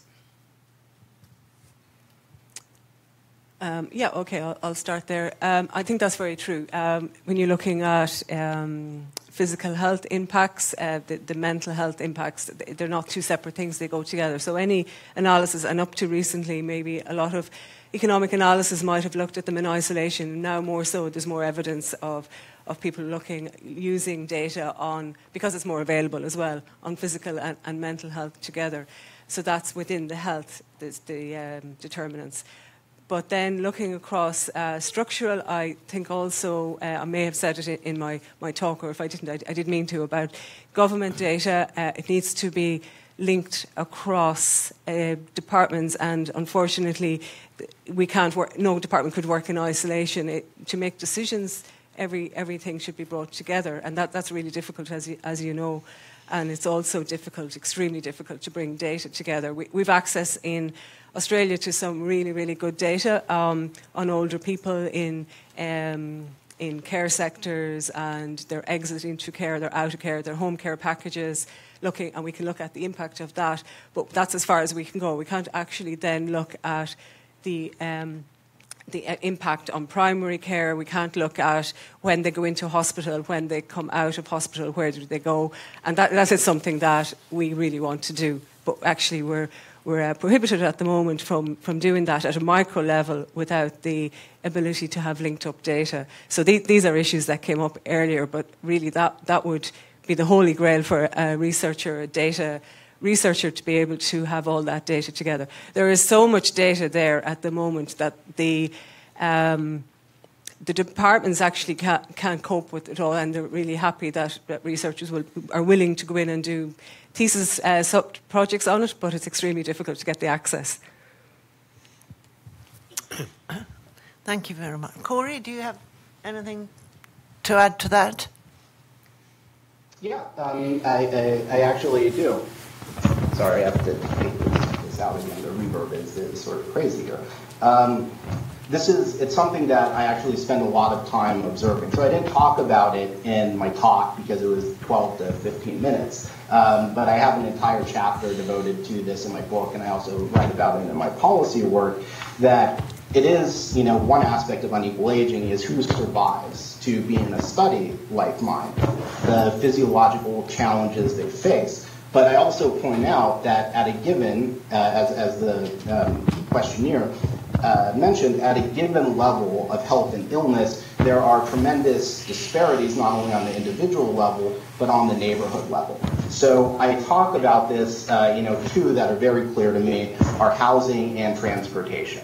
So you look at something like subsidized senior housing in the U.S. When you go to the middle class neighborhoods, uh, in my study, senior housing has wide pathways. They have uh, little strings that you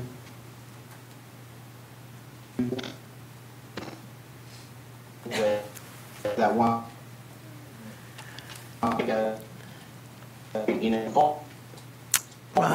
I, th- I think unfor- unfortunately. Okay. Okay. Okay. Well, we, we got.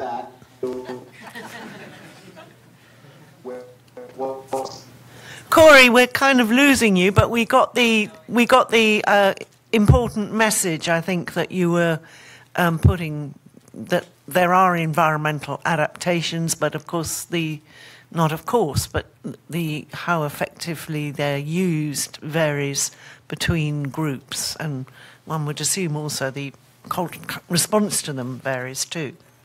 So I think we've had a, a really, really interesting afternoon. We had three great, great uh, earlier talks, and now we've had two very interesting presentations. Oh, but we've got one more. Okay. Yeah, yep. just quickly. Um, with respect to the demographics, I, I, and Linda Fried's question about what are the measures that people prefer, I have a suggestion for the commission staff. Um, I think it would be helpful for us on the commission to have a a short document that reviews the various metrics that are commonly used. There's the old age dependency ratio, but that's static. There's the prospective old age dependency ratio, which takes changes in life expectancy into account.